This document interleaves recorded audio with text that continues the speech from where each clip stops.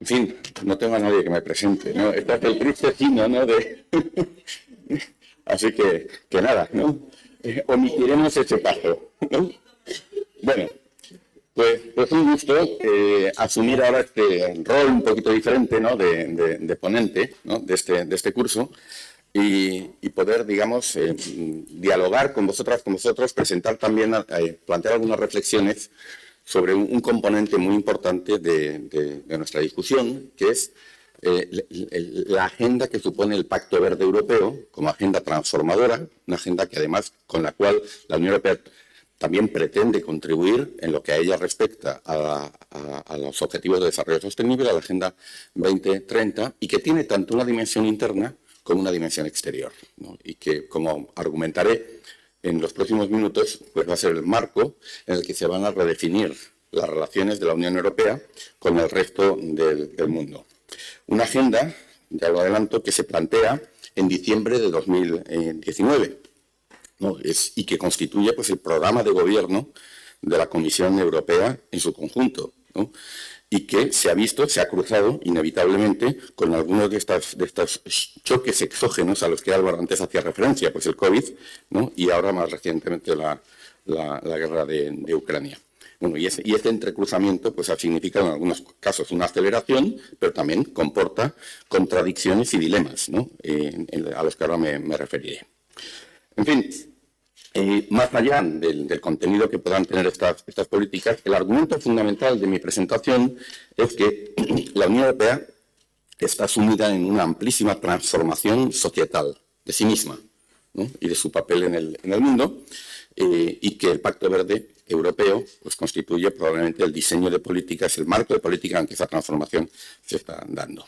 La respuesta a la COVID-19, la transición ecológica y un elemento que también se ha mencionado acá, que es el concepto de autonomía estratégica, son los tres ejes sobre los que gravita un amplio programa de transformación de la Unión Europea, que afecta a su propio desarrollo social y económico, a su relación con el resto del mundo, a la política exterior y de, seguridad. Esas transformaciones ya estaban sobre la mesa antes del 24 de febrero de 2022, fecha del ataque ruso a Ucrania. Pero esa, guerra, la guerra de Ucrania, parece estar acelerando de manera dramática tanto la transición verde como el viraje de la Unión Europea hacia lo que ya llamamos, lo que el, alto representante denomina una Europa geopolítica. Yo creo que las declaraciones de estas semanas ¿no? de algunos de los líderes europeos pues, han enfatizado suficientemente este hecho. La aparición de, la guerra, de esta guerra de agresión en Europa Oriental supone, en palabras de la presidenta de la Comisión Europea, de Ursula von der Leyen, un verdadero parteaguas, es la expresión que ella utilizó, un parteaguas para Europa. En las palabras del alto representante. Eh, fue, en primer momento lo definió así, un momento de vida o muerte. Y el canciller de Alemania, Olaf Scholz, lo eh, considera un verdadero punto de inflexión para por supuesto para Alemania, pero el principal Estado miembro de la Unión en cuanto a su peso económico y político y también en materia de seguridad y defensa, pero no solamente para Alemania, para el conjunto de la Unión. Y ese punto de inflexión, hay una expresión en alemán que habréis escuchado que es Seitenwende, ¿no? que es el cambio de época, el cambio epocal, ¿no? porque realmente supone un, cambio de época en todas estas dimensiones. Sobre estas bases, de una manera u otra, se orientarán las relaciones de la Unión Europea con el mundo en el, futuro inmediato. Y la COVID-19 ¿no? ha sido también un catalizador de estos, cambios, porque expuso las debilidades de la Unión Europea en muchos ámbitos, pero ha inducido una enérgica respuesta societal y geopolítica. Ha acelerado esa transformación de la Unión Europea para sí mismo, en un sentido social, verde y, digital, no exento de, de contradicciones y, dilemas. Y, y, pretende afirmar a la Unión Europea ante un escenario internacional más adverso. Max Berman, un observador del Centro para el eh, Progreso Europeo, lo definía como un verdadero despertar, definía el COVID-19, la respuesta al COVID, como un verdadero despertar geopolítico de la Unión Europea. Y esto, insisto, antes incluso del ataque ruso a Ucrania. Elemento clave de esa respuesta han sido los acuerdos de julio de 2020 del Consejo Europeo, con un paquete financiero de 1.8 billones de euros, billones en castellano, ¿no? trillions en, inglés. Y ese, ese, paquete incluye el instrumento Next Generation EU, con 0.8 eh, billones, 800 mil millones de, euros. Y más allá de su significado económico, Next Generation también es una vindicación del multilateralismo y de la integración regional, de la respuesta regional, de la respuesta colectiva, que en otras latitudes pues, se ha visto impugnada por el nacionalismo extremo y por una ultraderecha en ascenso. No solamente el Brexit, sino también, ayer lo mencionábamos, esa impugnación que han hecho el regionalismo pues, las derechas en América, en América Latina. Una región que no ha logrado tener esa capacidad de respuesta eh, colectiva. Quizás luego en el coloquio podemos hablar de algunas de las iniciativas de CEPAL que, digamos, brillan en, términos de respuesta regional en un escenario que ha sido bastante oscuro, ¿no? porque ni, ni UNASUR ni hasta un momento tardío CELAC han sido capaces de articular la respuesta eh, regional. Y es que estos acuerdos de julio también suponen en el plano político un gran avance federal, que solamente seis meses antes era inimaginable. ¿no? Suponen citando a Xavier Vidal Folch, vincular presupuesto, impuestos y eurobonos, iniciando el camino a un tesoro común de la Unión eh, Europea.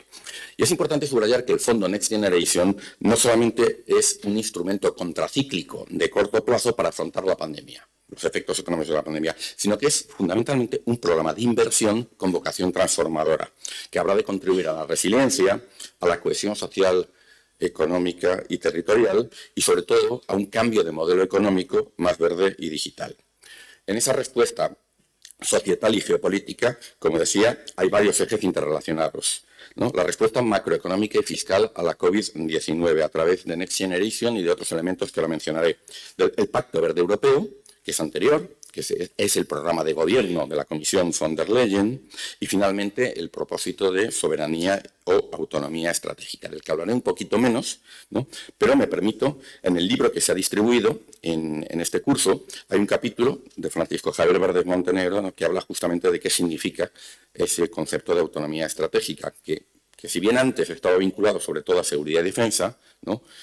cuando se acuña en 2016 con el siendo eh, Federica Mogherini la, alta representante, ahora en este periodo, con el periodo de la Comisión von der Leyen, ya no es solamente seguridad y defensa, sino que se ha extendido también pues, al ámbito productivo, a las cadenas globales de, valor.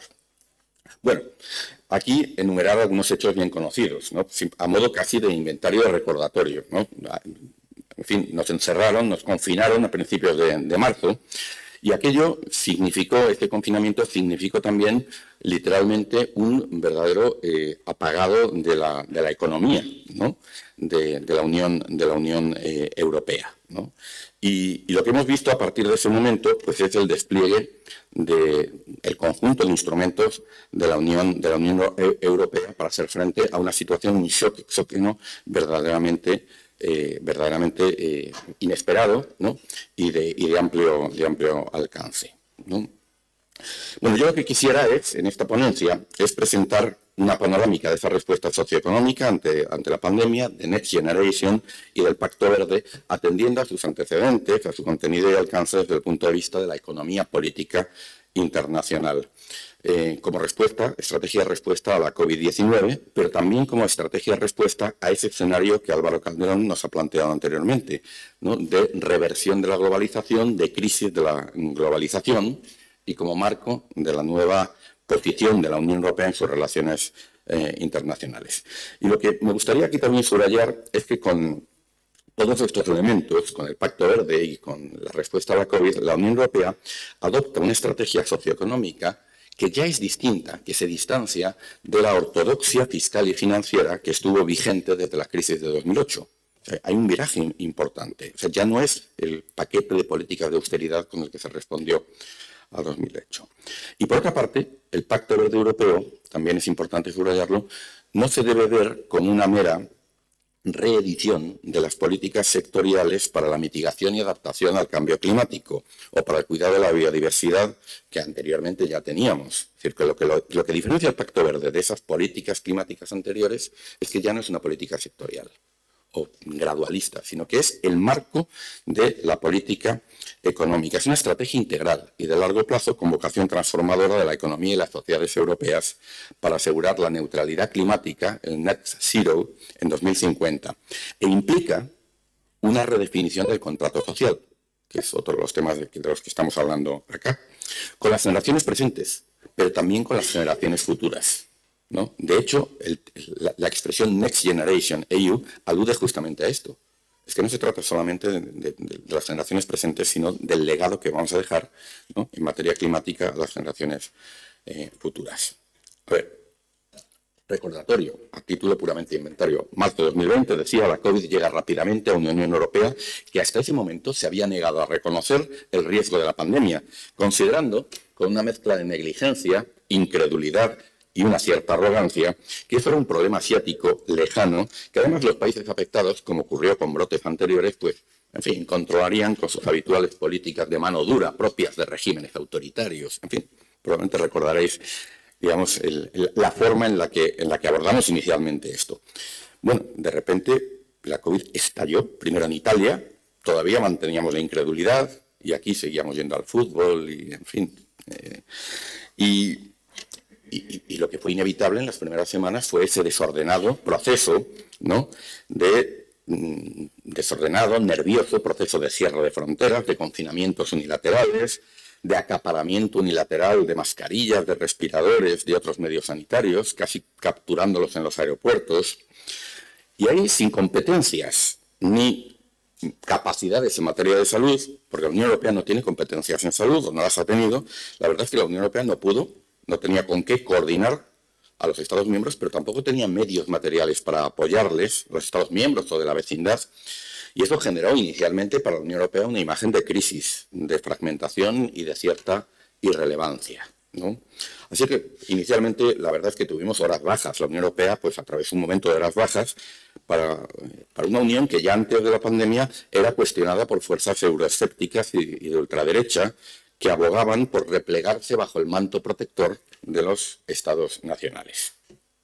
Bueno, cuando escribimos, cuando hablamos eh, cuatro años, eh, perdón, dos años y medio después de, iniciarse la pandemia, pues esa imagen de la, por parte de la Unión Europea ha dado un giro importante. Ya no la vemos así, ¿no? Porque la Unión reaccionó, de hecho es que la Unión reaccionó con rapidez, diligencia y notable eficacia en aquellas materias en las que sí tenía competencias, Sobre todo en materia macroeconómica y en materia monetaria y fiscal. Y en aquellas materias en las que no tenía competencias, como en el ámbito de la salud pública, pues ahora tenemos sobre la mesa la positiva experiencia de compra conjunta de vacunas y la estrategia común de inmunización, que ha sentado las bases para una unión de la salud. ¿no? Entonces, bueno, nosotros trabajamos en ciencias sociales con el contrafactual no sabríamos qué hubiera pasado si el escenario fuera distinto, pero podemos tener una conjetura razonable de lo que habría ocurrido si hubiéramos tenido que salir al mercado, Grecia por un lado, Alemania por otro, Dinamarca, España, Portugal, pues cada una a comprar vacunas y a buscarse la vida. La verdad es que eso hubiera sido un escenario, no me lo quiero ni, ni, imaginar. Bueno, y todo esto ocurrió en un plazo relativamente corto a pesar de, las dificultades que comporta el proceso de toma de decisiones tiene unos procesos decisorios complejos, poderes distribuidos entre la Comisión, el Consejo, el Parlamento y eh, los Estados miembros, además de una autoridad monetaria eh, independiente. Bueno, la respuesta inicial la danza al Banco Central Europeo y es que tras el apagado, de la, literal apagado de, eh, las, economías con motivo de los confinamientos y con el desplome de los mercados financieros, ¿no? pues el Banco Central Europeo reacciona con rapidez siguiendo la estela de la Reserva Federal de los Estados Unidos. Ahí las fechas claves son del 14 y el 18 de marzo ¿no? de, de 2020. ¿no? Y es el 18 de marzo de 2020, pues el Banco Central Europeo lanza eh, ese programa, recordarán, temporal de compras de emergencia en caso de pandemia. Un nombre muy alambicado, el, PEP, e con doble P por sus, por sus siglas en, en inglés, que se lanzó con un total de previsto de compras de activos de 750.000 millones de euros hasta finales de 2020 que además se sumaba a los que ya estaban en vigor con la crisis del, euro. Y en diciembre de ese año, de 2020, el Banco Central Europeo decidió ampliar el PEP e hasta 1.8 billones de, euros. Su vigencia se ha ido mm, prolongando, está actualmente en, vigor, aunque con menor eh, intensidad. Y bueno, tras las decisiones del Banco Central Europeo, que como es autónomo e independiente y se coordina con otros bancos centrales, puede actuar más rápido, llegó el turno de los ministros de Finanzas. Y ya el 23 de marzo, el, ECOFIN, eh, se activó, y esto es muy importante, incluso ahora, ¿no? luego veremos por qué, se activó la cláusula de escape del Pacto de Estabilidad y Crecimiento. El Pacto de Estabilidad y Crecimiento limita los déficits públicos, pero hay una cláusula de escape para situaciones excepcionales. Estado era. Además, no se podía echar la culpa a ningún Estado miembro de que hubiera sido manirroto ni nada por el estilo, con esas fábulas morales de las crisis de 2008, 2010. Entonces activó y un poco el mensaje, bueno, bueno, miren, esto está fatal, así que no hay límites al déficit. Esa cláusula de escape se activó, sigue activada hoy. Y esto también es importante recordarlo. Tenemos un debate sobre eso, sobre el que, el que volveré. ¿no? ¿Y qué más cosas hicieron en marzo? Pues un programa de garantías del Banco Central, eh, del Banco Europeo de Inversiones, que permitió a los bancos de públicos nacionales, en nuestro caso al Instituto de Crédito Oficial, la ICO, pues financiar eh, de manera extraordinaria a las empresas, a las pymes, ¿no? a través de la banca, pues otorgar líneas extraordinarias de financiación. Se creó un nuevo instrumento temporal de apoyo a los permisos remunerados y la cobertura de desempleo, el SURE. Bueno, con eso hemos financiado los ERTES, en España, que han sido muy importantes, los expedientes de regulación temporal de empleo, con los cuales, digamos, bueno, se apagan, se, cierran las empresas temporalmente, pero en el momento en que la situación se normaliza, puedes simplemente reincorporar a los trabajadores porque no los has echado a la calle, los has mantenido en plantilla, se les ha mantenido los salarios, con apoyo estatal, eh, para minimizar el daño que la, que crisis estaba suponiendo. Yo no quiero ni imaginarme lo que hubiera sido esta crisis del COVID si hubiéramos reaccionado como en 2010-2011 que bueno, si una empresa tiene dificultades, pues a la gente a la calle y se cierra y adiós, muy buenas, y ya veremos, ¿no? Aquí se ha mantenido, ha tratado de mantener el tejido productivo. Un dato muy importante, y es que este programa SURE, ¿no? Se ha financiado con emisiones de deuda. Y es la primera emisión que hace conjunta la Unión Europea de bonos sociales. ¿no? Hay bonos verdes. Bueno, estos son bonos sociales. Y esto es muy, muy importante porque se ha pedido dinero prestado a los mercados con la garantía de la Unión Europea para financiar programas de desempleo eh, eh, temporal. Y además, un dato muy importante, y es que cuando se han lanzado estos bonos sociales, ¿no? la demanda ha superado 14 veces a la oferta. Entonces, los mercados financieros, el capital privado, con la garantía de la Unión Europea, ha ido a comprar estos, bonos. Eso da también una idea de lo que significa la Unión como emisor de bonos en los mercados financieros eh, internacionales respecto a los Estados miembros. Si hubiéramos tenido que haber hecho esas emisiones, Italia por un lado, España por otro, las primas de riesgo hubieran sido otras, el coste otro y a lo mejor no habíamos podido obtener esos recursos. Eso también hay que recordarlo en términos de lo que significa la acción colectiva como unión, cuando las cosas vienen, vienen mal, mal, mal dadas. Y bueno, y otra cosa también interesante, nosotros tenemos una especie de Fondo Monetario Internacional Europeo, que es el, es el MEDE, el Mecanismo Europeo de Estabilidad, que se creó en la época también de la crisis del, euro. Y entonces, bueno, se, accedió, el ECOFIN accedió a que se pudiera recurrir a, este, a esta vía de financiación. ¿no? Estos son préstamos, pero muy importante, se dijo expresamente que no comportarían condicionalidad, es decir, que no habría hombres de negro. ¿no? los famosos hombres de negro de los rescates de la crisis del Estado. Aún así, los Estados miembros no se han visto, precisamente porque ha habido otros mecanismos, no se han visto en ningún caso en la necesidad de tener que recurrir al MEDI. Está ahí, ¿no? Está abierta la línea de financiación.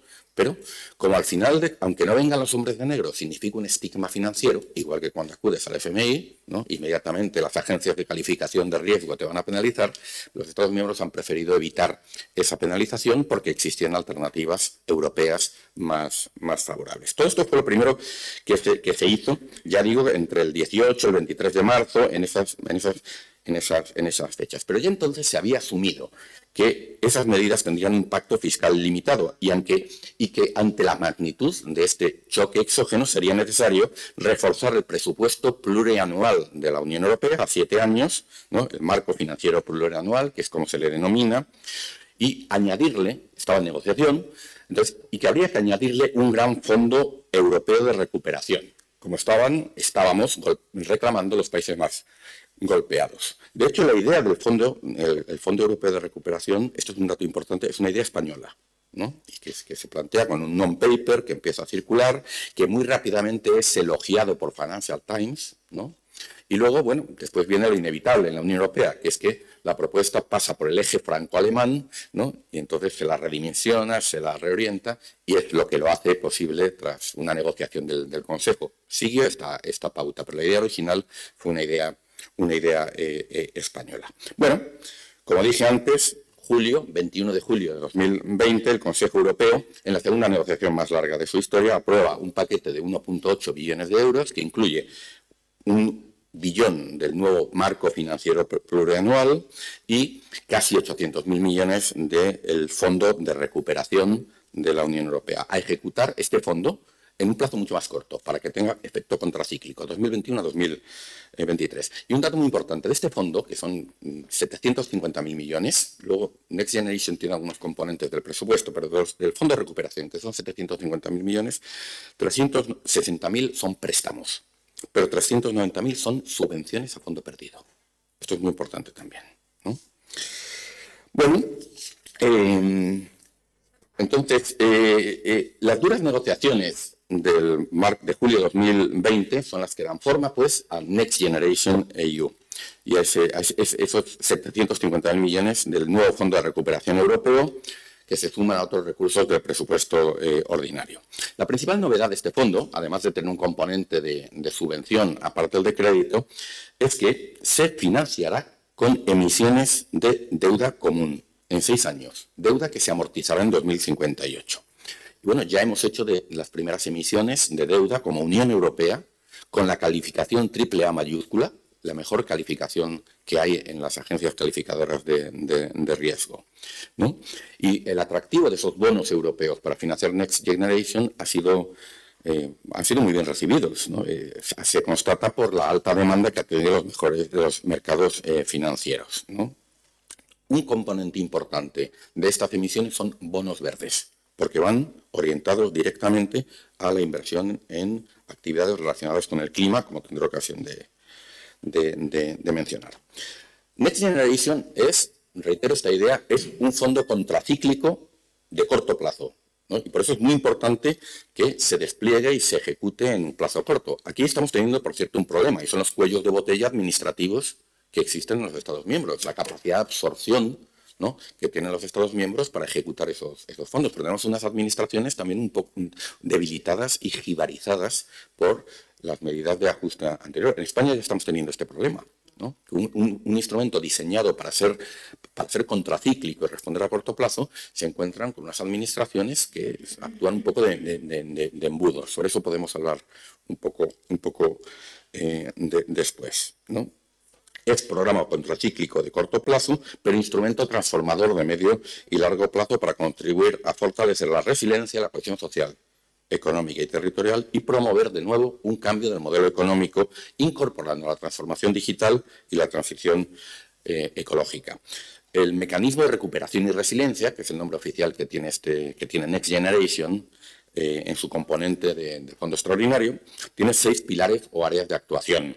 Transición verde, transformación digital, crecimiento inclusivo, sostenible e inteligente, cohesión social y territorial, resiliencia sanitaria, económica social, preparación y respuesta a desastres y lo que se denomina políticas para la siguiente generación, infancia, adolescencia, educación, readaptación profesional.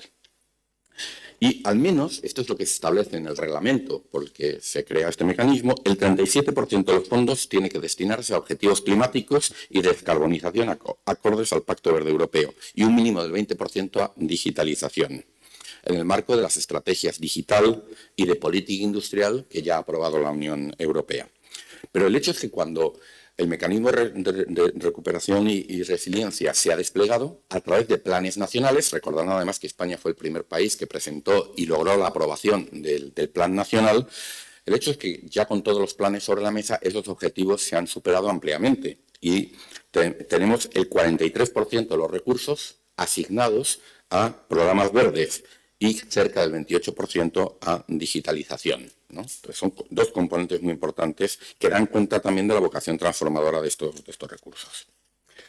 Por lo tanto, Next Generation se ha convertido en un acelerador a través, o sea, ha dotado de recursos financieros a lo que ya estaba establecido, que es el Pacto Verde Europeo. Y ahora lo voy a situar en este, en este marco más amplio.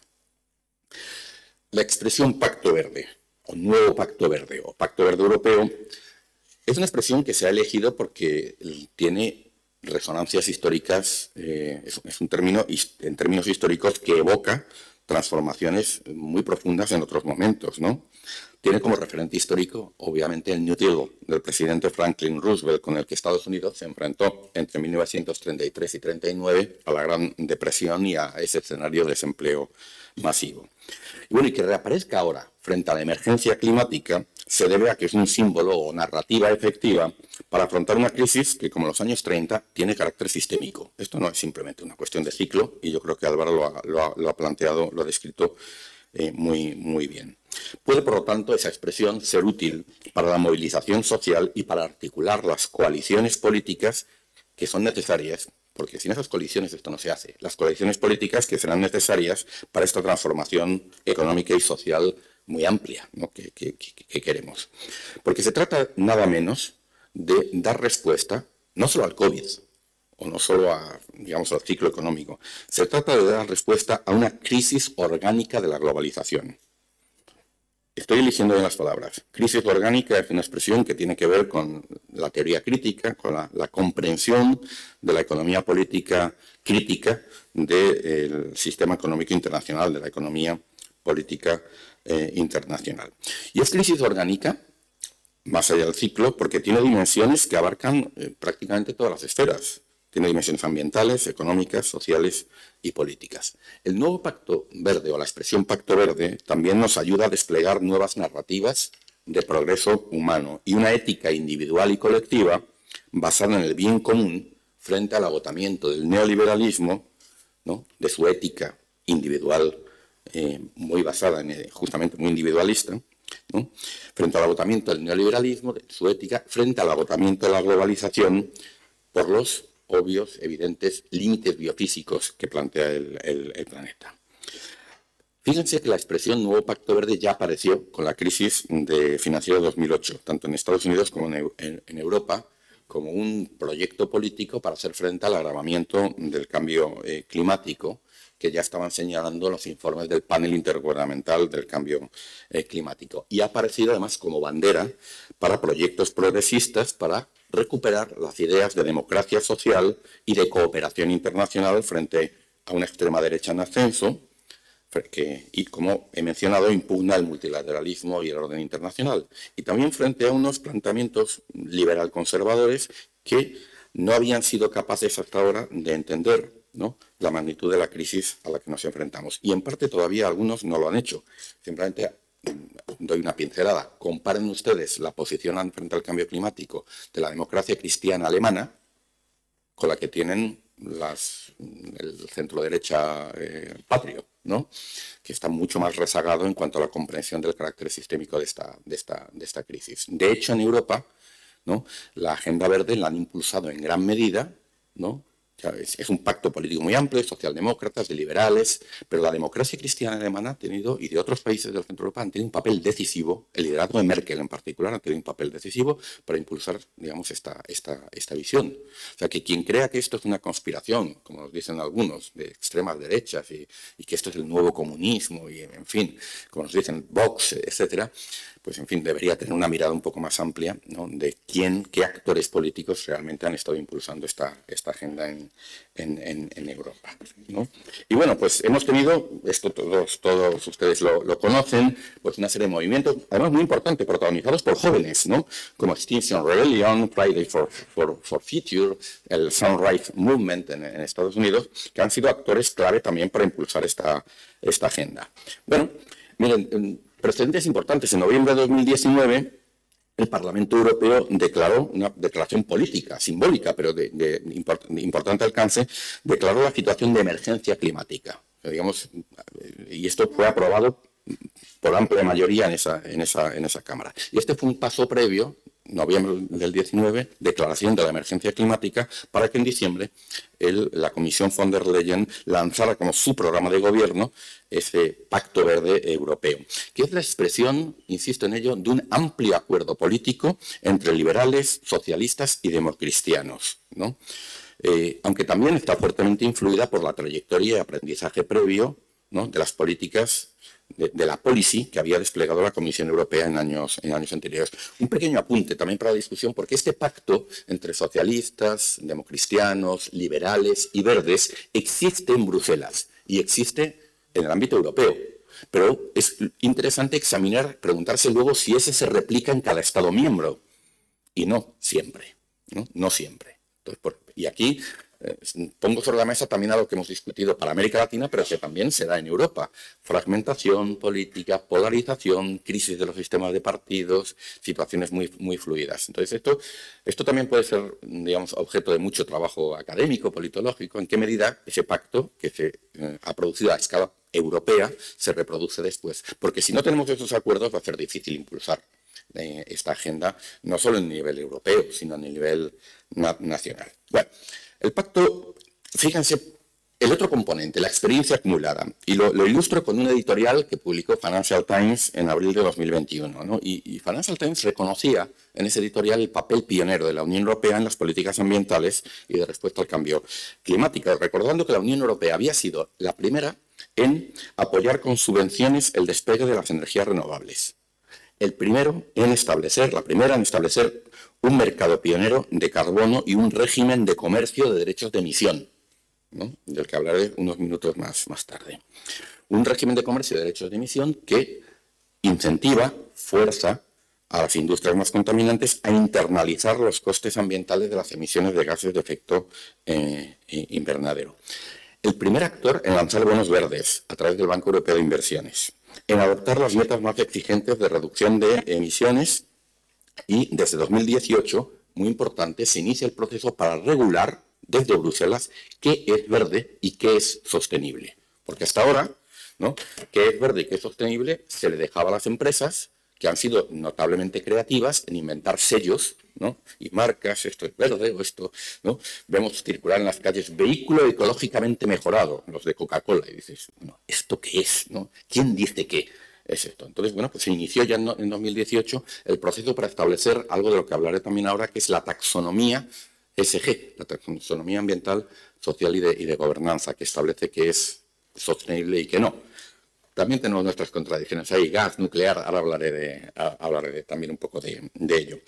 Bueno, también pioneros en el mundo en, ese tipo de regulación, en entender que no se lo podíamos dejar al mercado y a la autorregulación, porque lo que provocaba era conflictos de intereses y la verdad es que un lío eh, descomunal y mucho greenwashing, ¿no? Eh, mucho lavado de cara eh, verde. ¿no?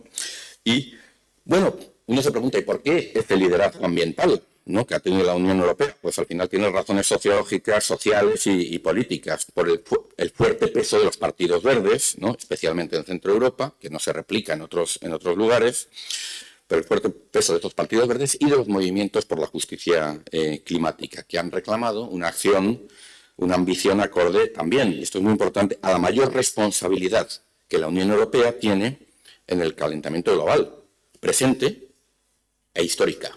Porque claro, a la hora de examinar el problema, en fin, lo ha mencionado antes Álvaro, eh, eh, Latinoamérica contribuye muy poco actualmente a las emisiones de gases de efecto invernadero, ¿no? Históricamente ha contribuido muy poco a la aparición del problema y sin embargo ahora va a sufrir en gran medida los, en una medida desproporcionada los efectos. Y en cambio nosotros tenemos europeos, tenemos una enorme responsabilidad histórica en que, en fin, el número de partículas por millón de CO2 en la atmósfera sea el que hemos, el, que hemos alcanzado. ¿no? eso también es importante entenderlo. Nos corresponde hacer mucho más. Ahora hay un discurso diciendo que el problema lo hemos visto en los medios. No, es que el problema de estos efectos climatológicos extremos es que la China y la India emiten mucho, ¿no?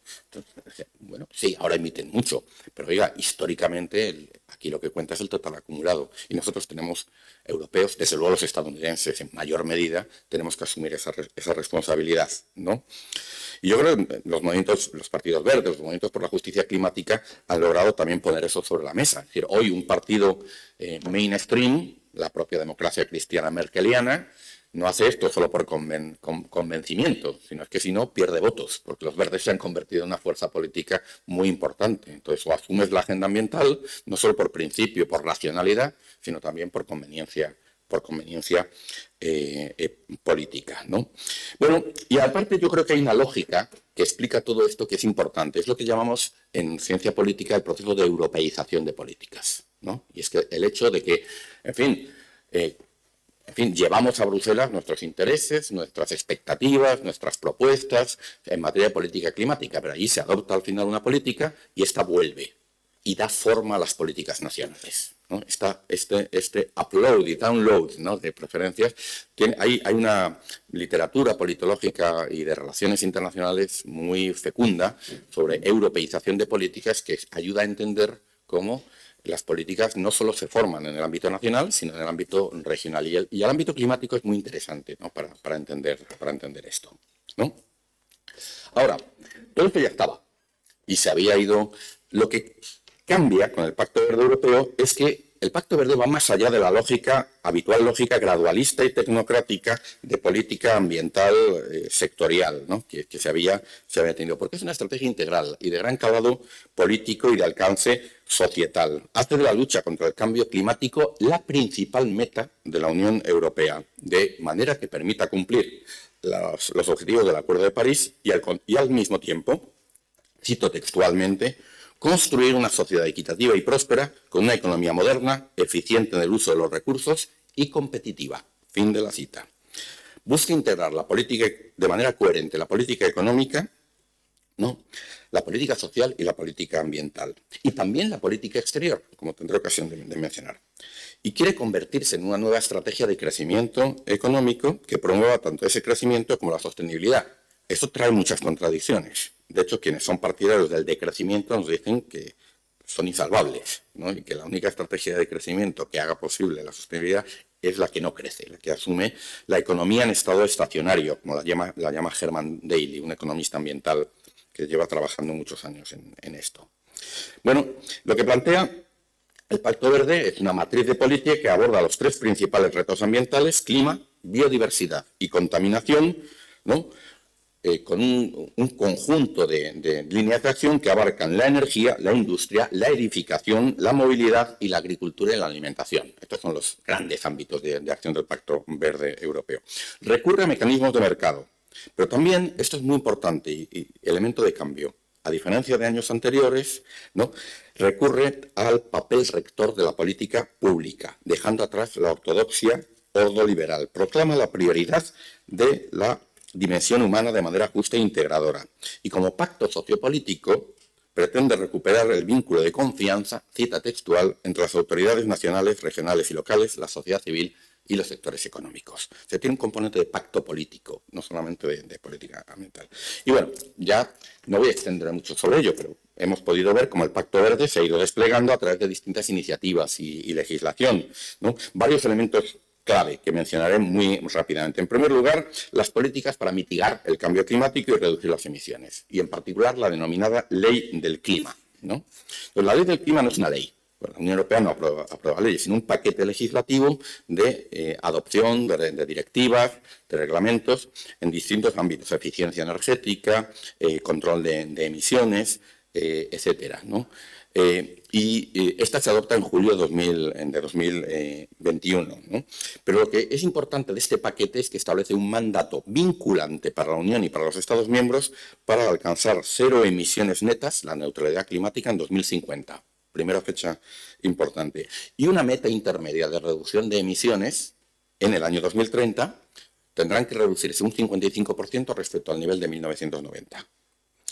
De hecho, también en el, año, en el año 2021, el, parte del paquete legislativo que se adopta, que lanza el, vicepresidente Timmermans, se llama Fit for 55. Objetivo 55. El objetivo 55 es justamente en una amplia gama de materias qué medidas legislativas hay que adoptar para que se alcance esa reducción del 55% en el año 2030. E incluye muchas cosas, ¿no? El endurecimiento de las directivas de eficiencia energética, ¿no? De el endurecimiento de la Directiva de Energías Renovables, duplicando los objetivos de la normativa anterior, nuevas normas sobre aislamiento de los edificios y una que es la que más se ha escuchado en los medios, ¿no? que es la prohibición, que hubo muchas resistencias, finalmente se ha aprobado, que es la prohibición de los motores de combustión en el año 2035. En el año 2035 ahora también se ha referido a ello, ¿no? Los fabricantes, como bien decías, tienen ya plazos establecidos, pero es que también en el caso de la Unión se los ha puesto Bruselas y los, hemos puesto los Estados miembros. En 2035 se tienen que terminar los motores de combustión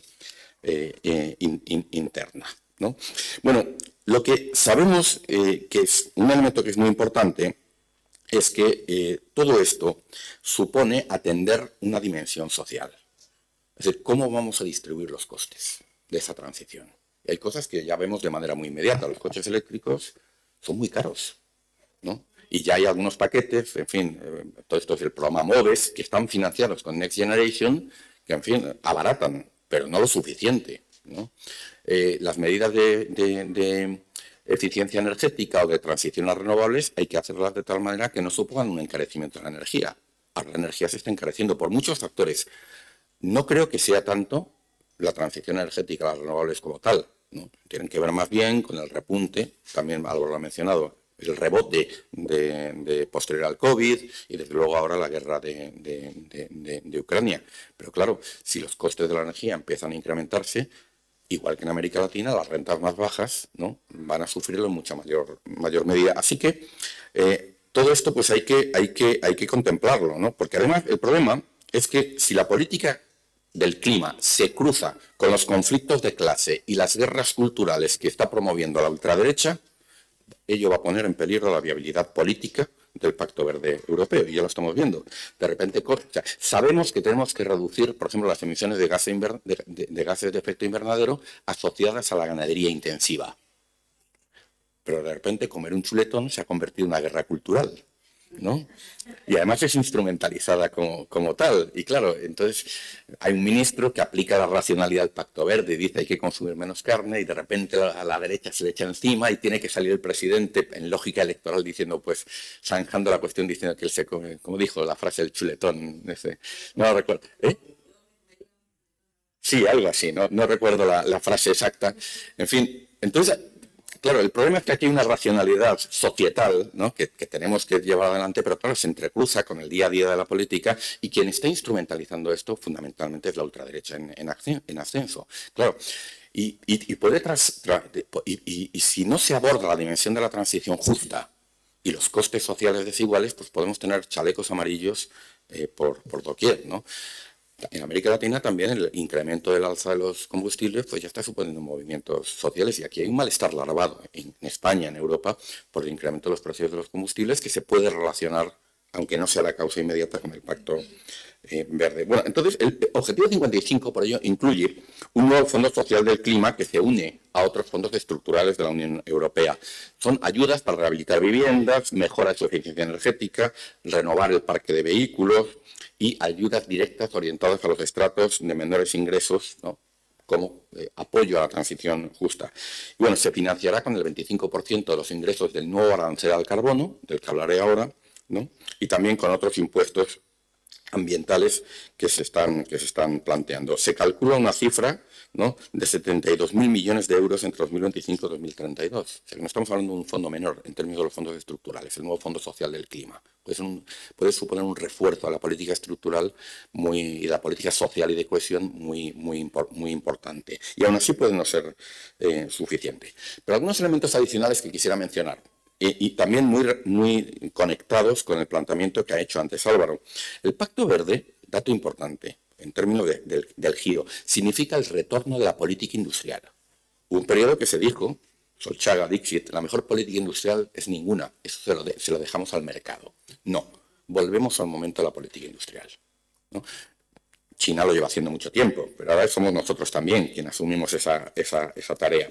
Ahora es nueva política industrial, pero vinculada a un nuevo ciclo de innovación tecnológica, con objetivos de descarbonización. Y se prevé un ciclo de unos 25 años para transformar la industria en términos de eficiencia, para promover la economía circular, para desacoplar el crecimiento económico del uso de la energía fósil y los recursos naturales, has hecho también referencia a la, eficiencia energética, a desarrollar mercados de productos climáticamente neutros. Incluso la, la presidenta de la Comisión ha llamado a una nueva Bauhaus, es decir, a vincular el diseño y la innovación con la racionalidad societal que representa el, Pacto Verde. y poner al servicio el conocimiento y la innovación, esa nueva Bauhaus, para, para que tengamos una reindustrialización, un nuevo, un ciclo de innovación y de reindustrialización orientado a estos objetivos. Y esto algo ya se inició en el sector del automóvil, que es clave para la Unión Europea. Hizo referencia también, por ejemplo, eh, algunos de los programas insignia em, del Pacto Verde eh, están orientados a la instalación de fábricas de baterías eléctricas. A ver, China tiene más, tiene, está más avanzada tecnológicamente, tiene más capacidad y las hace más baratas. Y en una lógica anterior a este ciclo, hubiéramos deslocalizado la fabricación de, baterías en, en China. No. Ahora, aunque sea menos eficiente, por lo menos en las primeras fases, queremos tenerlas aquí. Esto también es un dato importante. Y se está haciendo en una asociación público-privada entre las empresas automotrices y la Comisión y los Estados miembros. Eso no es ortodoxia liberal, neoliberal ni ordoliberal. No, esto es otra cosa. Y además esto se vincula también a la autonomía estratégica de la Unión Europea, a la lógica geopolítica. Es racionalidad verde, pero también es racionalidad geopolítica. Y esto implica un cambio de paradigma. Hay algunas élites que todavía no se han enterado, liberales de derechas, que todavía no han enterado que estamos en un momento histórico distinto y que no podemos aplicar los paradigmas de antes del ciclo de la, globalización. Y por si alguien no lo ha entendido, lo digo claramente, este es un llamado a fuerzas de derecha que tienen que entender, si no lo han hecho todavía, que tienen que leer el momento histórico en el que nos encontramos ¿no? y eh, adaptarse. Bueno, ahora, una cuestión que quisiera añadir.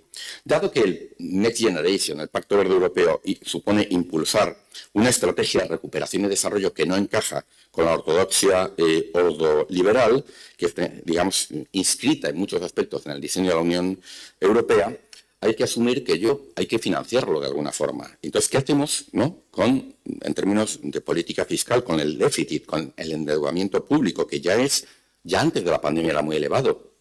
Y que, se ha incrementado incluso más este, en, este, momento.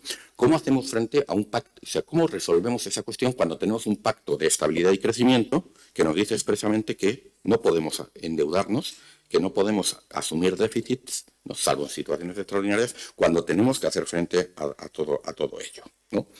Bueno, de hecho, lo que, fijaros que lo que hemos hecho, obligados por las circunstancias, es con la activación de la cláusula de escape es que hemos perpetuado, ya llevamos prácticamente dos años con la cláusula de escape activada. O sea, lo que era excepcional lo estamos convirtiendo en normal. Y eso debería hacernos plantearnos algunas, algunas preguntas.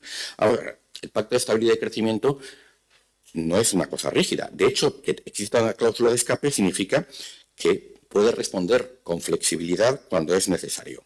Pero también las circunstancias actuales han mostrado que a medio y largo plazo las reglas fiscales de la Unión Europea del Pacto de Estabilidad y Crecimiento no sirven. De hecho, es el debate que tenemos ahora. Si las restablecemos de manera prematura, como están pidiendo algunos halcones del déficit, van a frenar la recuperación y van a el desempleo. Costes, ¿no? Que en estas coordinadas políticas, no sé yo si es el mejor momento para lanzar a la gente a la calle ¿no? y refrenar el crecimiento económico. Martin Sambu, ah, bueno, no solamente significan mm, detener crecimiento, es que además a medio y largo plazo pueden hacer inviable el Pacto Verde Europeo en términos de su requerimiento de inversión. Martin Sambu, columnista de Financial Times, dice, nos dice que hay dos posibles salidas para esa paradoja. Dejar las reglas fiscales como están y prorrogar sin edie la cláusula de escape, lo que en la práctica significa anular el Pacto de Estabilidad y Crecimiento. asumimos que, bueno, la otra es cambiar las reglas. Y hay un debate abierto en la Unión Europea sobre el Pacto de Estabilidad y Crecimiento. Hay que cambiarlo. No nos sirve para estas circunstancias actuales. Ahora, cambiarlo significa tener reglas claras respecto a cuáles tienen que ser las nuevas reglas y lograr un consenso respecto a ello. Y, entre otras cosas, qué límites establecer respecto a déficit y endeudamiento. ¿No? Este consenso no existe aún. Y bueno, hemos visto, por ejemplo, Macron y Draghi, ¿no? hace poco, publicaron un artículo señalando que la estrategia de desarrollo que la Unión Europea necesita para la próxima década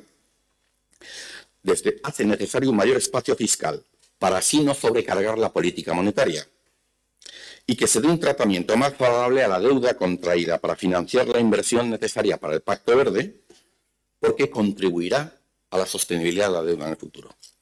Entonces no metamos toda la deuda en el mismo paquete.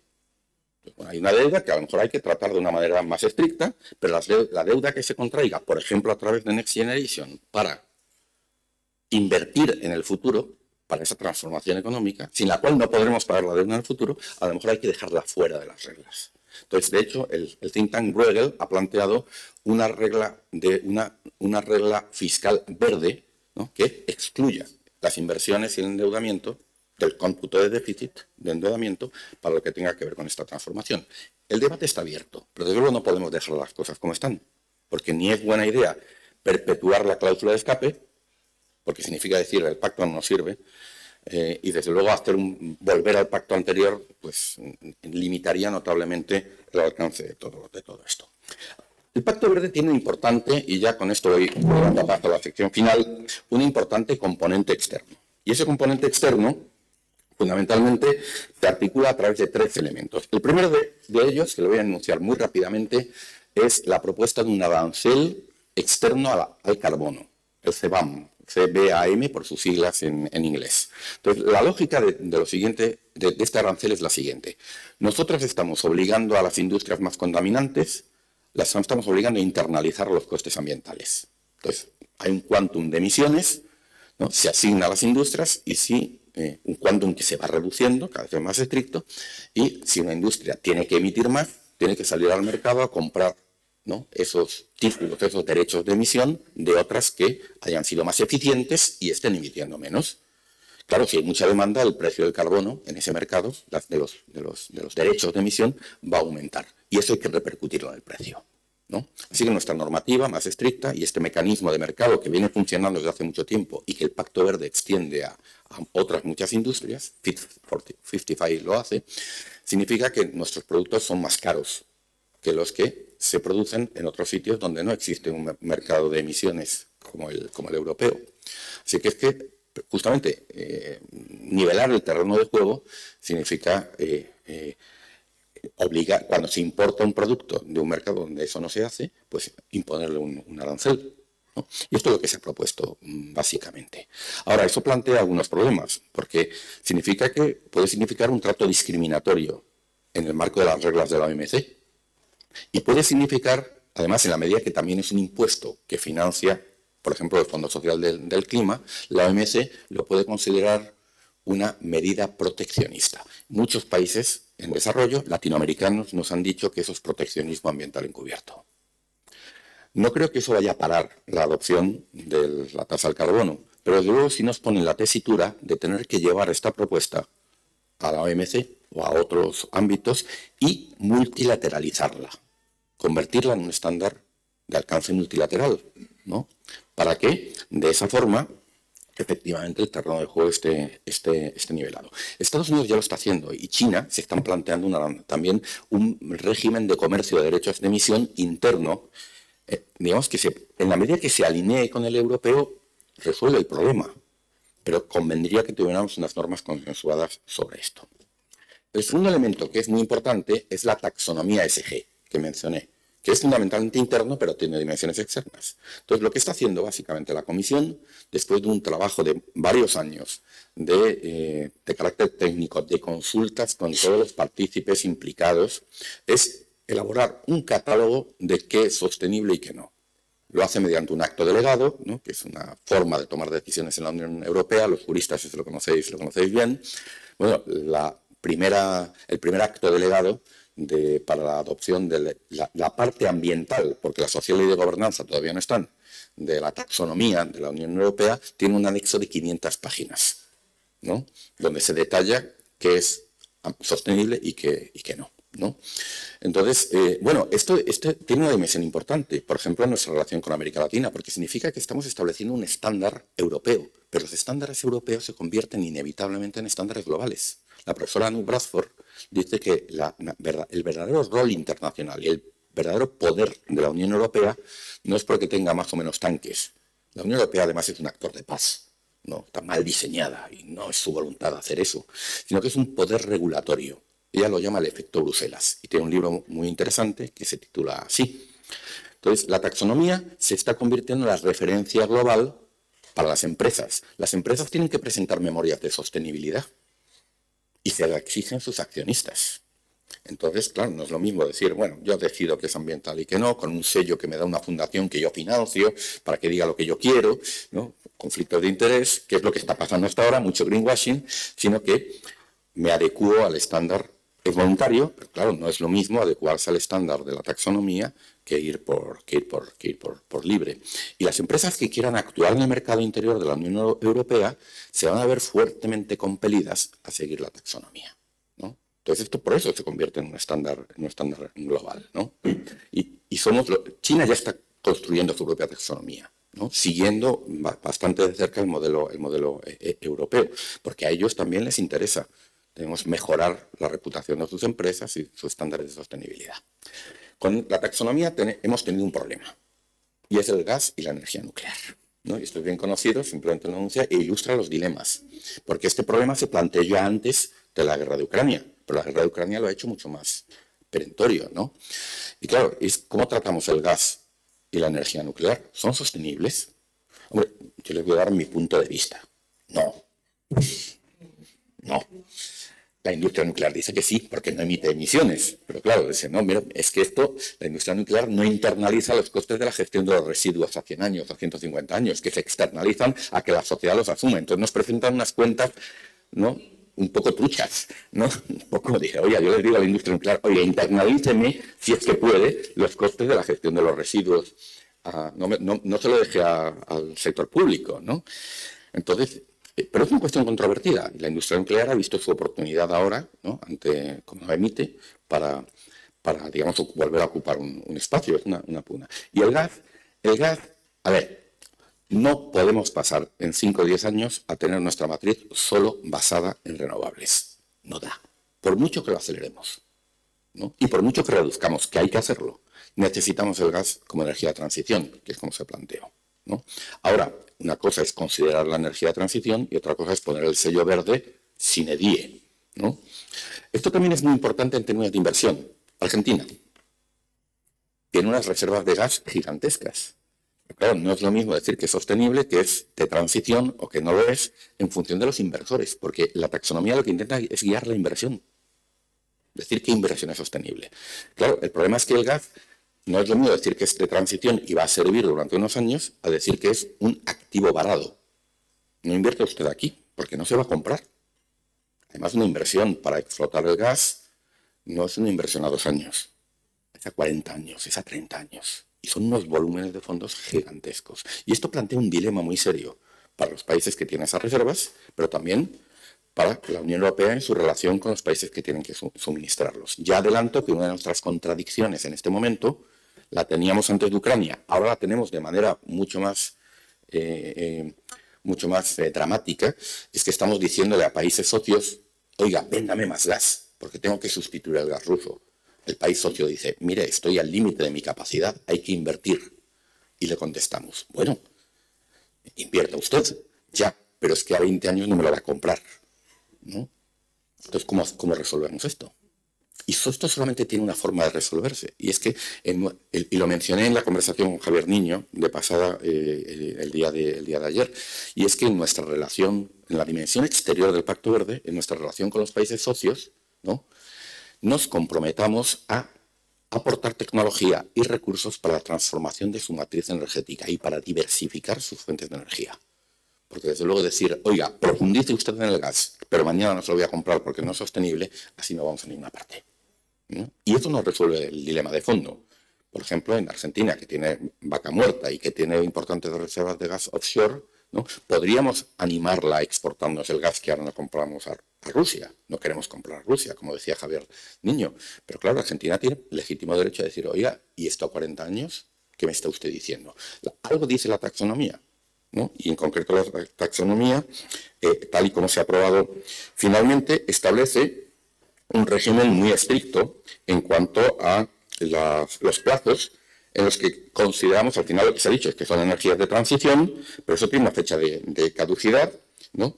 que, a ver si la encuentro por aquí, que la tenía, la tenía eh, anotada, que creo que llega, no me hagáis mucho caso, al 2035 y al 2045 en cuanto a las nuevas inversiones. A partir de ese momento ya no es sostenible.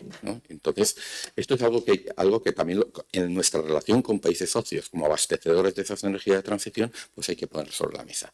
Y luego, desde luego, si nuestra propuesta hacia América Latina es, oiga, invierta en, gas, para abastecerme a corto plazo porque lo, necesito, ahora lo necesito, ahora que no tengo el gas ruso eh, barato, lógicamente nos van a decir que esto no es, no es una propuesta de recibo, no, no, es, no es sostenible. Ese es, el otro componente importante. Y el tercer componente importante son las alianzas verdes que se plantean para actuar multilateralmente en los foros multilaterales ¿no? y la Unión Europea con sus socios, América Latina, compartir, impulsar con una mayor ambición los objetivos de descarbonización y neutralidad eh, climática. Esas alianzas verdes plantean algunos dilemas en materia de política comercial, y también quería referirme brevemente a ellos eh, de manera además muy inmediata, en torno a los acuerdos de asociación. El Pacto Verde exige combinar la apertura comercial, de la que en buena medida depende la prosperidad de la Unión Europea, somos una potencia comercial, y también de muchos de nuestros países socios. Pero al mismo tiempo supone estándares ambientales más estrictos. Supone, y esto es muy importante, una aproximación al comercio y a la inversión con principios ambientales y geopolíticos que es distinta al tradicional enfoque liberal que ha abanderado la Unión Europea, y en particular la Comisión, y más en particular la GG Trade, la Dirección General de eh, Comercio. Bueno, ya he, señalado que sin el, arancel al carbono, sin los estándares ESG y sin un endurecimiento de los estándares laborales y ambientales, la opinión pública y los parlamentos pueden mostrarse reacios a la apertura comercial y a la ratificación de los acuerdos que se firmen. Esto es un dilema ahora. México, por ejemplo, quiere que la Unión Europea y el acuerdo, la modernización del acuerdo de asociación Unión Europea-México que se apruebe ya. Y es un acuerdo que tiene componente político, comercial y de cooperación al desarrollo. Y desde el lado europeo, la DJ Trade dice, mire, es que tenemos un problema.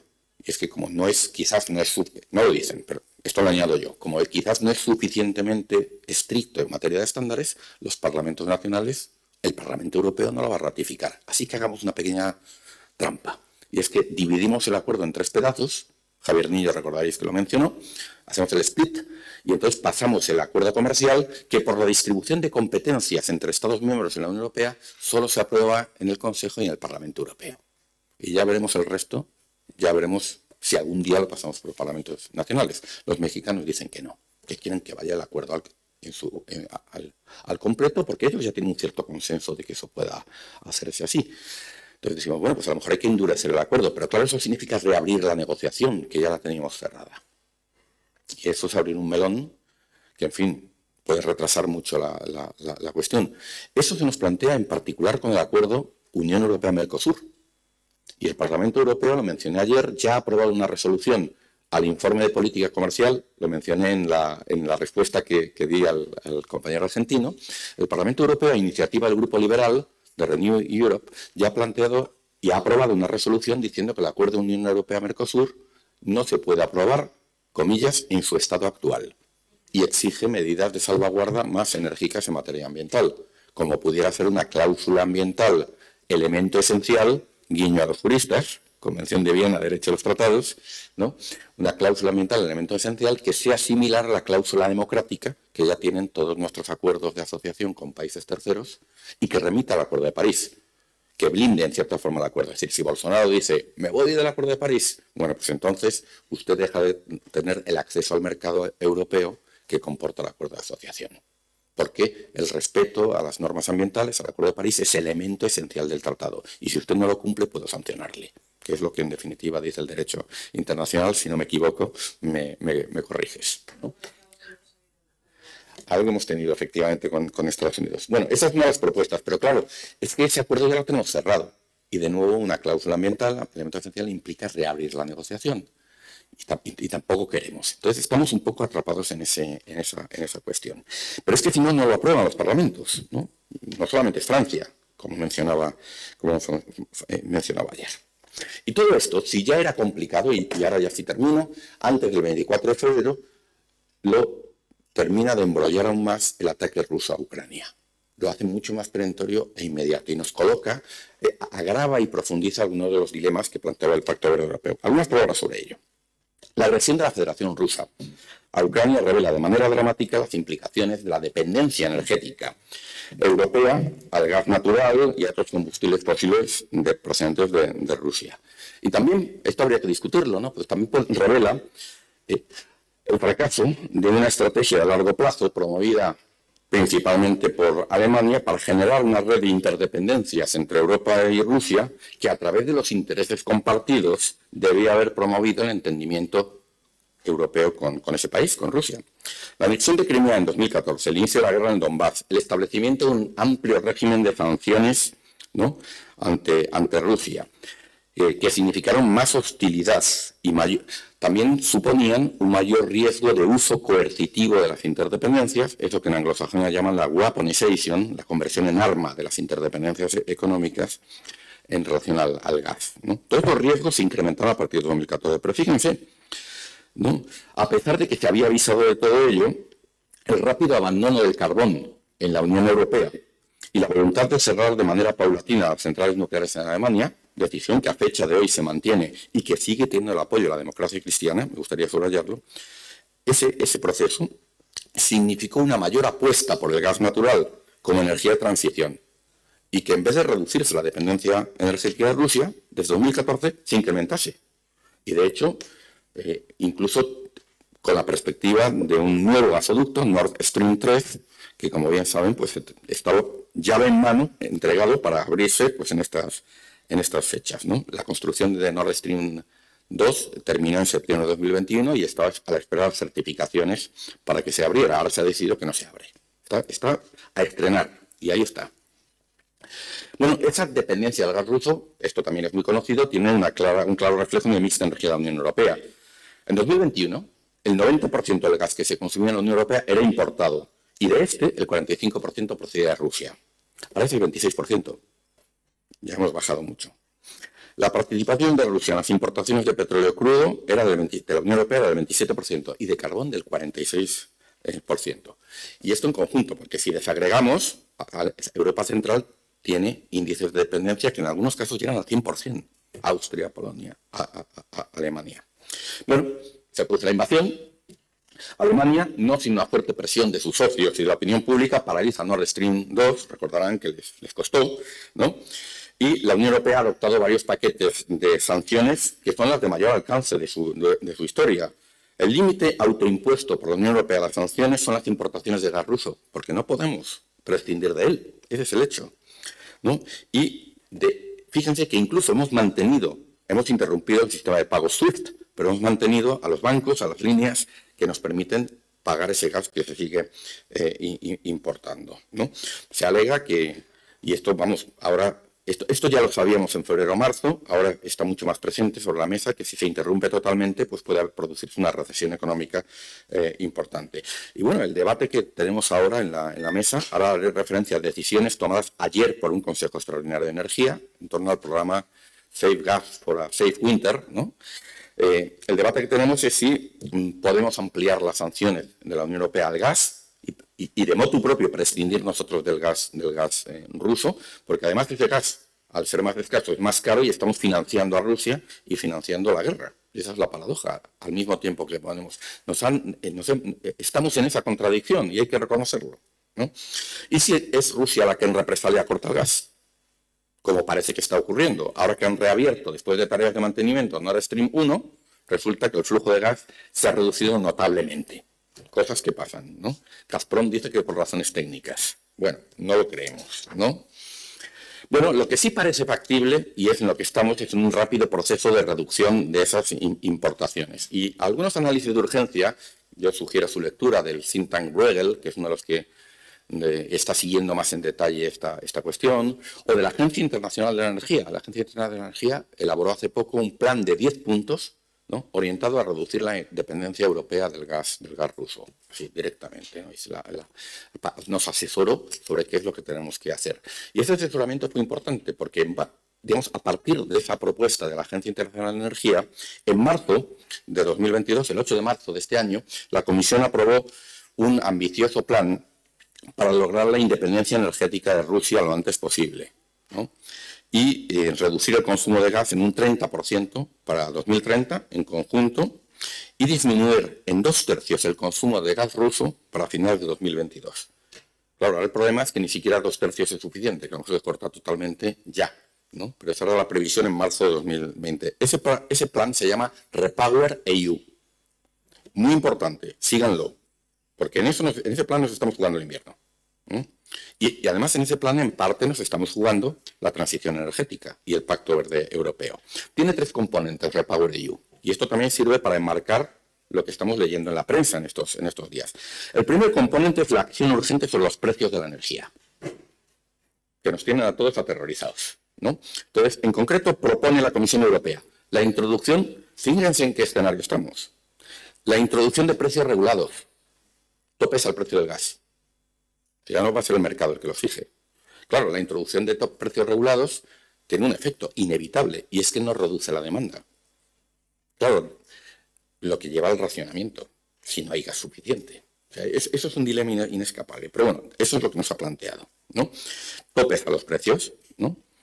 Eh, en segundo lugar, impuestos temporales sobre los beneficios ¿no? caídos del cielo, como se les denomina en inglés, a, las empresas eléctricas y de gas, con, y esos impuestos generarán recursos para apoyar a los hogares y a las pequeñas empresas. Esto es lo que hace unos días aprobó el gobierno español y se ha dicho que esto es el acabose, ¿no? Un más, uno más de los acaboses que hay cada, en nuestra política local cada, cada poco tiempo. Miren ustedes, esto es parte de la caja de herramientas que la Comisión Europea ha propuesto a los Estados miembros, o sea, viene de Bruselas. ¿no? Y viene además de una comisión, digamos, liderada por la democracia cristiana que tampoco hay que asustarse por esto. Entonces, ese es otro elemento que la Comisión plantea en Repower EU. Y también un marco temporal de ayudas públicas. Recuerden que la Unión Europea las ayudas públicas están prohibidas.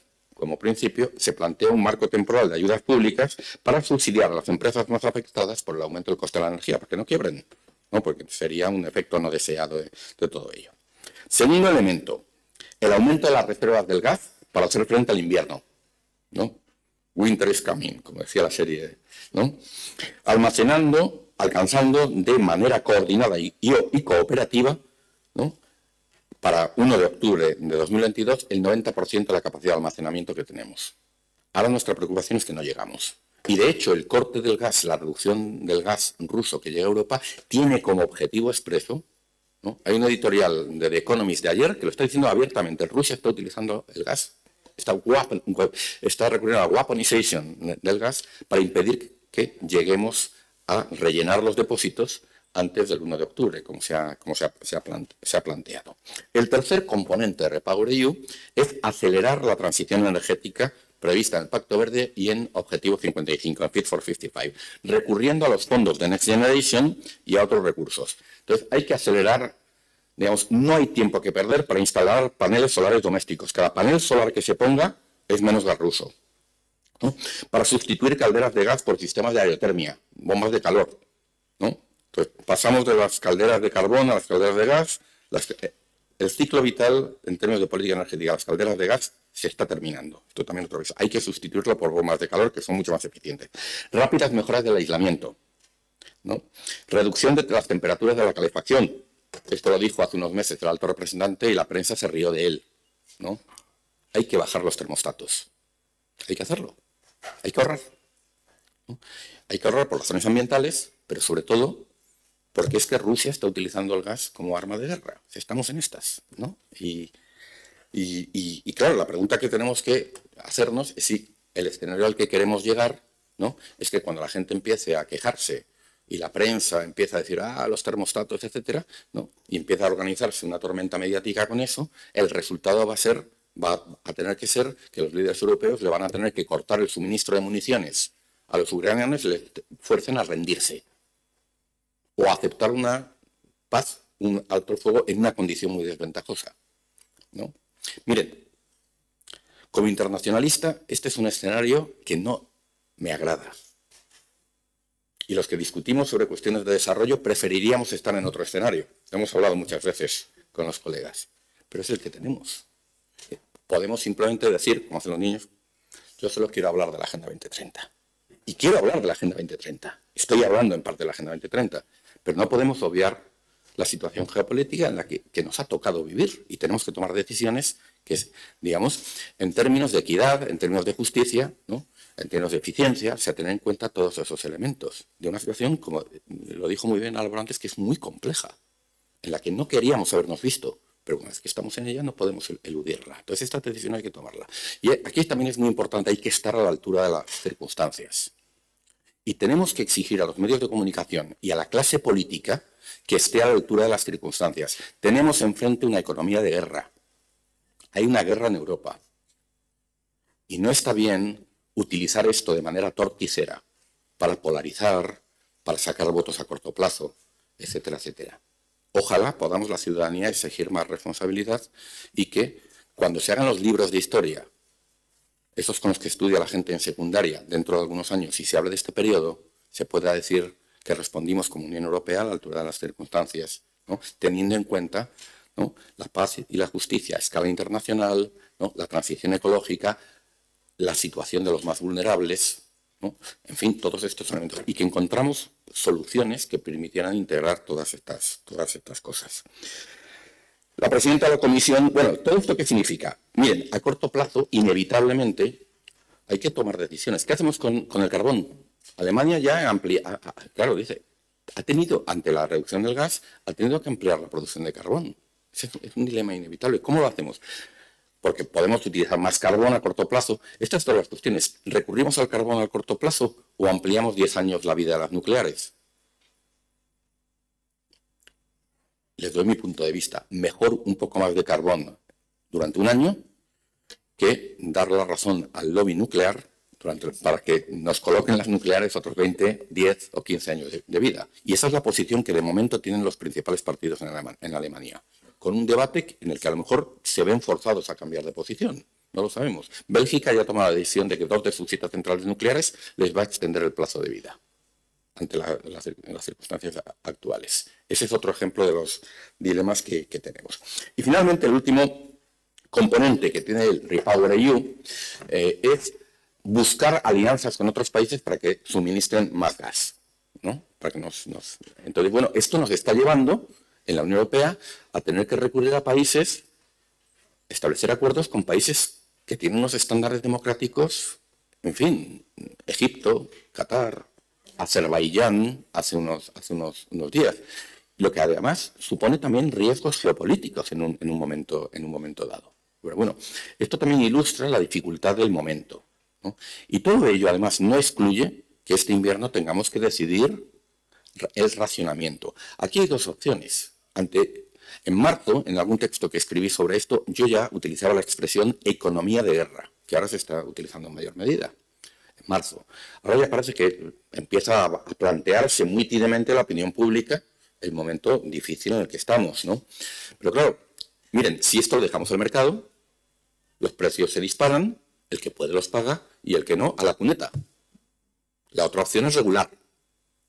Pero regular como no hay suficiente, es que el problema dice, bueno, pones un tope al precio, ya, pero es que no hay gas. Por lo tanto, hay que tomar decisiones. Y habrá que tomar decisiones probablemente entre países.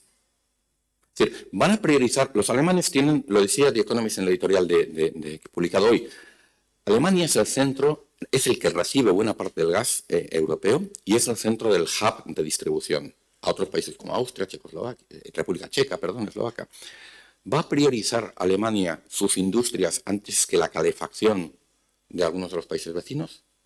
Esto nos plantea en términos de solidaridad intraeuropea dilemas muy, complicados y a los que habrá que hacer frente de una manera solidaria. Bueno, para discutir esta cuestión, ayer el Consejo Extraordinario de Energía eh, discutió una propuesta, ya me he mencionado antes, que se llama Safe Gas for a Safe Winter ahorra gas para un invierno seguro. Y la Comisión, yo creo que de una manera no muy hábil, propuso una reducción lineal a todos los Estados miembros del 15%. Lo habrán visto en la, en la prensa. Claro, es que no todos los Estados miembros están en las mismas circunstancias en cuanto a su mix energético, en cuanto a su dependencia o autonomía, y entonces ha sido una discusión muy complicada. España salió en tromba diciendo que el 15% de nosotros no tenemos ese, problema. Incluso hicimos alguna alusión a lo que nos habían dicho los alemanes en la crisis de, 2008. Hemos logrado que se fije al 7%. Esa es la decisión. lo acabo de leer y los detalles todavía han visto. Malta, que es una isla, también tiene algunas excepciones. En fin, hay algunas eh, que tengo, tengo que decir que no he tenido tiempo de estudiarlas en detalle, ¿no? pero les invito a mirar las decisiones, ya digo que son de, de ayer. ¿no? Pero una cuestión muy importante, incluso si eso no es suficiente, el plan aprobado ayer prevé otorgar a la Comisión la autoridad de racionar, de, definir de manera vinculante cómo se raciona y se reparte el gas que haya. Esto es importante. O sea, digamos, la cuestión aquí es, digamos, si vamos a responder, como en el COVID, si vamos a responder colectiva y solidariamente, como unión, o tonto el último. ¿No? es decir, y, esto, mm, en fin, yo simplemente les indico, como decía Miguel Ángel Aguilar, el periodista del país, atentos, ¿no? Estemos atentos porque en esto nos estamos jugando el Pacto Verde, la solidaridad europea, eh, etc. Reflexiones finales, con las que ya termino, porque me he extendido mucho en el, en el tiempo. Desde la crisis de 2008, la Unión Europea enfrenta una serie de crisis múltiples que se inscriben en la crisis más amplia de la globalización y el orden internacional eh, liberal.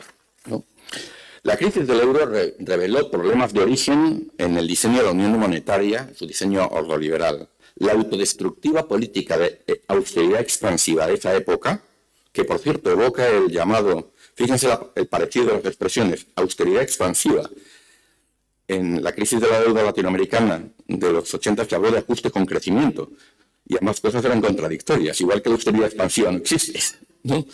Austeridad y de expansión bien poco, ¿no? Bueno, bueno, pues todo ello indujo un círculo, como en aquel momento, un círculo vicioso de recesión económica, crisis social, aumento de la desigualdad y cuestionamiento ciudadano de la Unión Europea y de sus políticas y sus gobiernos. Llevó un retroceso visible de la cohesión económica, social y territorial de la Unión, agravó la desafección, el nacionalismo, el euroescepticismo, la desconfianza ante las élites, alentó el ascenso de la ultraderecha. Este sombrío escenario se completa con el temor y la incertidumbre de las sociedades europeas ante los efectos de la globalización, la inmigración y el cambio tecnológico, que nos da miedo en términos laborales, ¿no? en términos de empleo, de protección social y las oportunidades para la siguiente generación. Yo creo que hasta 2016 la Unión Europea no empezó a ser consciente de la gravedad del momento, hasta entonces no lo fue. Y como, quizás como reacción a hechos traumáticos, como el referéndum del Brexit, el triunfo de Donald Trump en Estados Unidos, la ultraderecha instalada en, el Capitolio, y también el hecho de que en Francia la ultraderecha estuvo muy cerca de ganar las elecciones presidenciales en 2017, el ascenso de la ultraderecha en países como Hungría, etc. Yo creo que esto realmente llevó a tomar conciencia del momento histórico en el que estábamos. Y de hecho, la eurozona ya empezó en ese momento a atemperar las políticas de austeridad para evitar que se agravara la crisis social, especialmente en el, sur de, Europa. Fue avisando las exigencias de control del déficit. También el Banco Central Europeo muestra un mayor activismo en apoyo a los Estados miembros y al euro a partir del whatever it takes de Mario Draghi, ¿no? lo recordarán, y la intervención masiva en los, en los mercados. Y ante el Brexit, la Unión Europea empezó a negociar con una unidad y una firmeza que no habíamos visto en mucho, mucho tiempo. Sin embargo, a pesar de esa toma de conciencia, el llamado de la Comisión Juncker en 2016 a una Europa que protege, frase que había acuñado Macron, a partir de los ejercicios de reflexión, a pesar de los ejercicios de reflexión de los libros blancos sobre el futuro de la Unión que se lanzaron en aquel momento, no se logró eh, en esa fase articular una respuesta estratégica a la Unión Europea a esos retos, a unas demandas sociales que en conjunto apuntaban a la necesidad de reconstruir el contrato social. Tampoco había respuesta europea adecuada a otros desafíos más amplios, como los planteados por la crisis de la globalización económica, la aparición de un nuevo modelo productivo basado en la robotización, la automatización, la digitalización, que ha alentado ese proceso de repliegue de las cadenas globales de, suministro, y que además desvelaba el rezago tecnológico de la Unión Europea problemas que, insisto, no teníamos respuesta. El no menos importante avance de los partidos verdes y la asunción de la agenda ambiental por los partidos mayoritarios mostró también que ese nuevo contrato social requería de una política más decidida ante la emergencia climática y la imposibilidad de universalizar los patrones de producción y consumo propios de una globalización sin ataduras. Y en cuanto al orden internacional, la impugnación del multilateralismo, el creciente nacionalismo económico de la administración Trump y de otros actores nacionalistas de ultraderecha, su evidente desprecio a la Unión Europea y la mayor competencia geopolítica nos forzaban, europeos, nos forzaba a los europeos a dejar atrás nuestra tradicional aproximación cosmopolita a la globalización, y no quiero decir que no sea la que haya que tener, escuchamos ayer a de la, a de la Cortina hablando sobre eso, y impulsó una visión más circunspecta y defensiva de la Unión Europea ante el orden internacional. Y bueno, hemos tratado de reaccionar a eso desde 2019 en particular a través del Pacto Verde y de la búsqueda de una mayor autonomía estratégica. Y el papel que ha tenido Next Generation, la respuesta a la COVID, es que ha impulsado, ha sido el, músculo financiero que ha impulsado ambas, ambas cosas. He tratado de, de, trasladarles en esta intervención la naturaleza sistémica y la vocación transformadora del Pacto Verde Europeo una vez que hemos reconocido la emergencia climática como, tal. Hemos dejado atrás el enfoque tecnocrático y sectorial de la política ambiental y del clima, asumiendo el Pacto Verde como matriz de nuestro modelo económico. Hemos logrado, de momento a escala europea, un gran pacto político entre socialdemócratas, verdes, centroderecha y liberales, basado en la asunción de la agenda ambiental y su llamado a defender lo común, hasta hace pocos años situado en los márgenes del debate político y económico dominante. Y también lo hemos hecho con un renovado compromiso contra la desigualdad y la protección de la sociedad, porque si no asumimos la necesidad de proteger a la sociedad, vamos a dejar esa agenda en manos de la ultraderecha, ¿no? que, es, que es la bandera que habitualmente asume. Y esto supone dejar atrás un largo periodo de políticas de austeridad y pone en cuestión la obsesión neoliberal con el equilibrio presupuestario. Necesitamos un cambio de, modelo económico que aún no, tenemos definido. Y además el Pacto Verde es el eje de la nueva política exterior y de seguridad de la Unión Europea al promover la seguridad energética y esto también va a moldear su identidad internacional y sus relaciones con el, con el mundo. También he señalado, esta es una conclusión importante, que el Pacto Verde supone el retorno a la política industrial y un mayor papel del sector público liderando la innovación y el cambio, a la Mariana Mazzucato, como ya tuve ocasión de, mencionar. Y con ello, implícitamente, la Unión Europea asume que la economía política global ha entrado en una nueva fase, que ya no es como antes, en una fase de desglobalización y de repliegue de las cadenas productivas, motivada tanto por el cambio tecnológico como por razones eh, geopolíticas. Opta por la reconversión productiva y por una estrategia de crecimiento y creación de empleo que sin renunciar a las exportaciones estará más centrada en el propio mercado interior. No, tanto en... Así que también ahí ¿no? el Pacto Verde converge con esas aspiraciones de autonomía estratégica de la Unión Europea. Y a partir del 24F, ¿no? en muchos aspectos, esta cuestión se ha convertido en una agenda de urgencia. ¿no? Y que evoca, como he mencionado, una verdadera economía de guerra, que supone, aún más, una enérgica intervención pública en los mercados de energía y comportan un renovado esfuerzo de planificación, palabra maldita, hasta no hace mucho. Ilustra de nuevo la irrupción de la geopolítica en la economía globalizada y las implicaciones del uso coercitivo de la weaponization de las interdependencias económicas. Sin embargo, y llama la atención sobre esto, la Unión Europea parece no haber asumido todavía las implicaciones fiscales de estas encrucijadas. La COVID-19 significó la suspensión de las reglas fiscales y la inédita aprobación de un fondo de reconstrucción extraordinario financiado con eurobonos.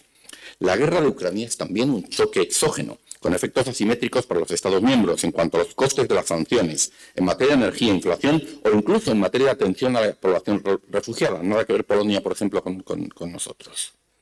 Ante ello se requeriría, como en la pandemia, una respuesta a escala europea sobre la que de momento no tenemos acuerdo ni diseño.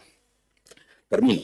Como afirmó el alto representante de la Unión para la Política Exterior y de la Seguridad, Josep Borrell, en su histórica alocución al Parlamento Europeo el 1 de marzo de 2022, tras la invasión, este es el momento en el que ha nacido la Europa geopolítica. En parte, el giro estratégico de Alemania y de otros Estados miembros y el despertar geopolítico de la Unión, más allá de la pandemia del COVID, responde a la constatación de lo que, se consideraban riesgos remotos, ahora es una realidad que tenemos que afrontar. Pero frente a los relatos más escépticos sobre la Unión Europea, el extraordinario despliegue de las sanciones y de otras medidas en los días posteriores a la invasión, como en el caso del COVID, también es una muestra de la relevancia y la capacidad material y simbólica de la Unión Europea, del potencial de la acción colectiva como Unión, y ha dado lugar a un sentido de propósito y a una narrativa renovada respecto a la construcción europea su importancia para la ciudadanía y el lugar de Europa en el mundo. Muchas gracias.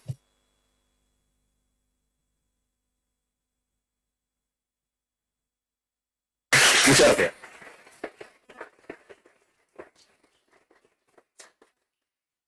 Bueno, pues tenemos unos, unos minutos todavía antes del almuerzo para preguntas, comentarios y observaciones, por favor. Y discrepancias, también las hay, que las habrá. Hola, buenos días, soy Gala de Bulgaria. Y la pregunta es un poco práctica.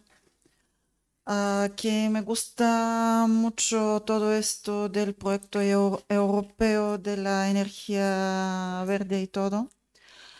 Ah, y primero doy la pregunta y después me la explico.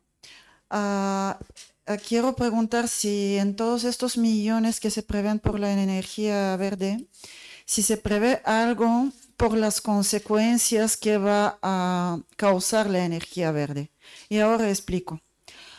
Ah, de lo que sé, de la electricidad tenemos ah, energía que, es verde verde, solo la eólica hasta cierto punto y la acuática hasta cierto punto. Y la solar fotovoltaica. Sí. Ah, y bueno, y ahora empiezo a contar. Cada familia europea, hablo solo de Europa, tiene por lo menos cuatro móviles. Tiene por lo menos dos, tres tabletas y dos, tres portátiles. Ah, además a esto vamos a añadir dos coches eléctricos, por lo menos. Cada, y eso es cada familia europea. Y hasta, yo, ah, hasta que yo sepa, no tenemos manera de reciclar baterías y acumulamos más baterías. Y, ah, estamos acumulando baterías desde hace 12 años, por ejemplo, cuando aparecieron los móviles. A ver, no 12, 20, porque el mío más viejo era hace 20 años, sí. Y, bueno, ah, ¿cómo vamos a reciclar esto? Porque no sé todavía cómo se reciclan todas las baterías estas. Ah, y además tenemos ahora estas ah, motos que son también eléctricas y también utilizan batería. Y, y sí. Sí. Así que sí. Vamos a ver. Ah, que, que, es, um, e, es uh, yo uh, sé que es un híbrido, he utilizado un híbrido.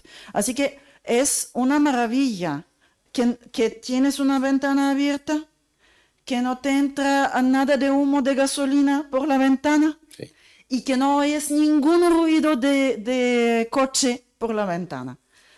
así que está muy bien, pero si se piensa en algo más allá, porque Ah, me parece que estamos combatiendo consecuencias constantemente, porque esta energía verde ahora es, ah, como decimos, es nuestra responsabilidad de los europeos, que hemos industrializado todo el mundo hace 120 años. Estoy de acuerdo, es nuestra la responsabilidad. Y, y ahora quitamos las consecuencias de... Bueno, gracias.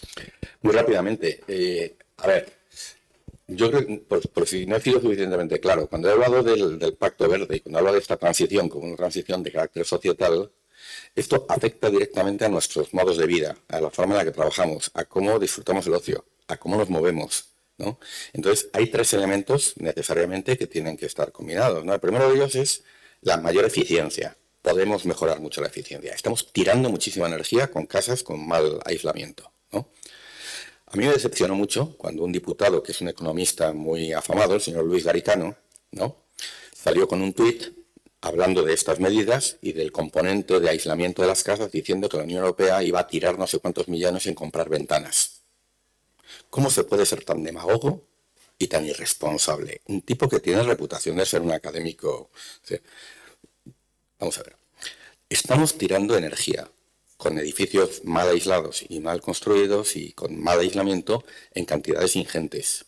Entonces, mm, reducción, o sea, mejora de la eficiencia energética es uno de los componentes eh, fundamentales. Segundo, sustitución de fuentes de energía. O sea, el potencial que tienen las renovables es enorme, ¿no? Resulta muy llamativo que Alemania tenga más parque instalado de paneles solares fotovoltaicos que España, que tiene muchísimas más horas de, insolación, pero aquí tuvimos un marco regulatorio que no ayudó a hacer eso, porque había que proteger las inversiones y las amortizaciones de las, eléctricas, ¿no? Entonces, y no me malinterprete, esto es un planteamiento partidista. Es que estoy hablando de otro de otra, de otra racionalidad. Hay, que, hay muchos intereses creados, obviamente, para refrenar esto.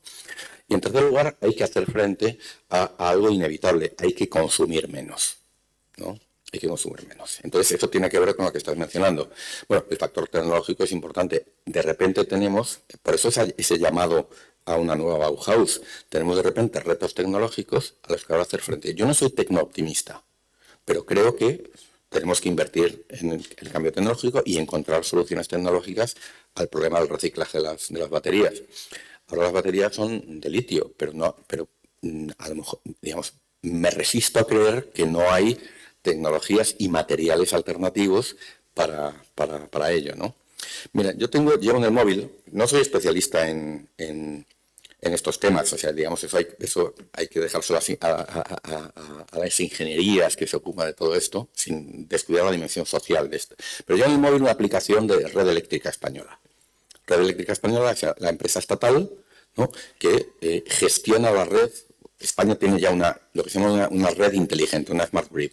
Cuando tienes muchas renovables necesitas una red que sea capaz de gestionar en tiempo real los aumentos de oferta y demanda, porque las renovables tienen una característica y es que son muy volátiles. De repente se nubla y deja de y la solar fotovoltaica deja de producir, o hay viento en un sitio y no lo hay en otro, tienes que complementar con gas, etcétera. Y eso ya hace muchos años, ¿no?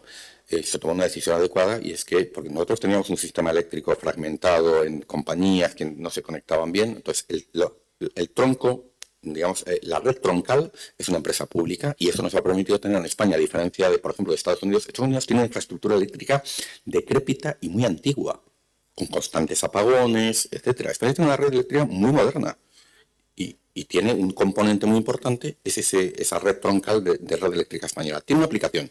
Y esa aplicación te va diciendo en el móvil, en tiempo real, es una curiosidad. ¿Cuál es el mix energético del país?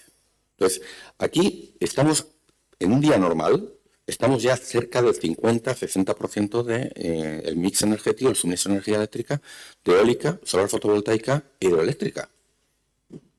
Y eso con un parque instalado relativamente reducido. O sea, esto puede crecer mucho más. Y sí, a lo mejor hay que recurrir como energía de respaldo al gas, ¿no? pero de manera muy puntual ¿no? y, en, pequeña, en pequeña medida, y casi yo diría en situaciones eh, eh, eh, extraordinarias. Entonces, hay un enorme potencial y lo que se está planteando aquí pues, es tratar de acelerar esto.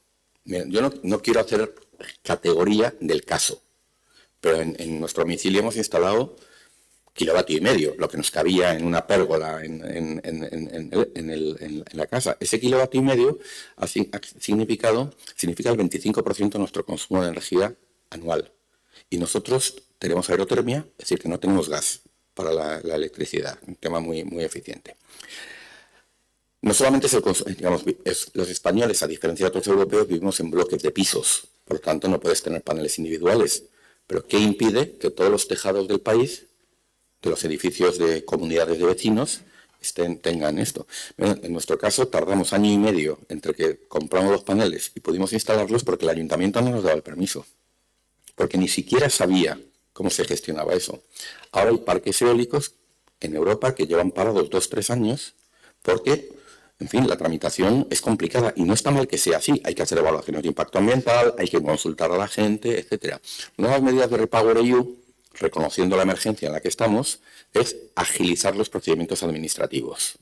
El mensaje es rápido. Cuidado, eso hay que hacerlo con cuidado. Comentábamos ayer con, con eh, eh, Andrea de, Oxfam que son esa rapidez que requiere el momento no tiene que hacerse a costa de las comunidades, de los territorios, etcétera.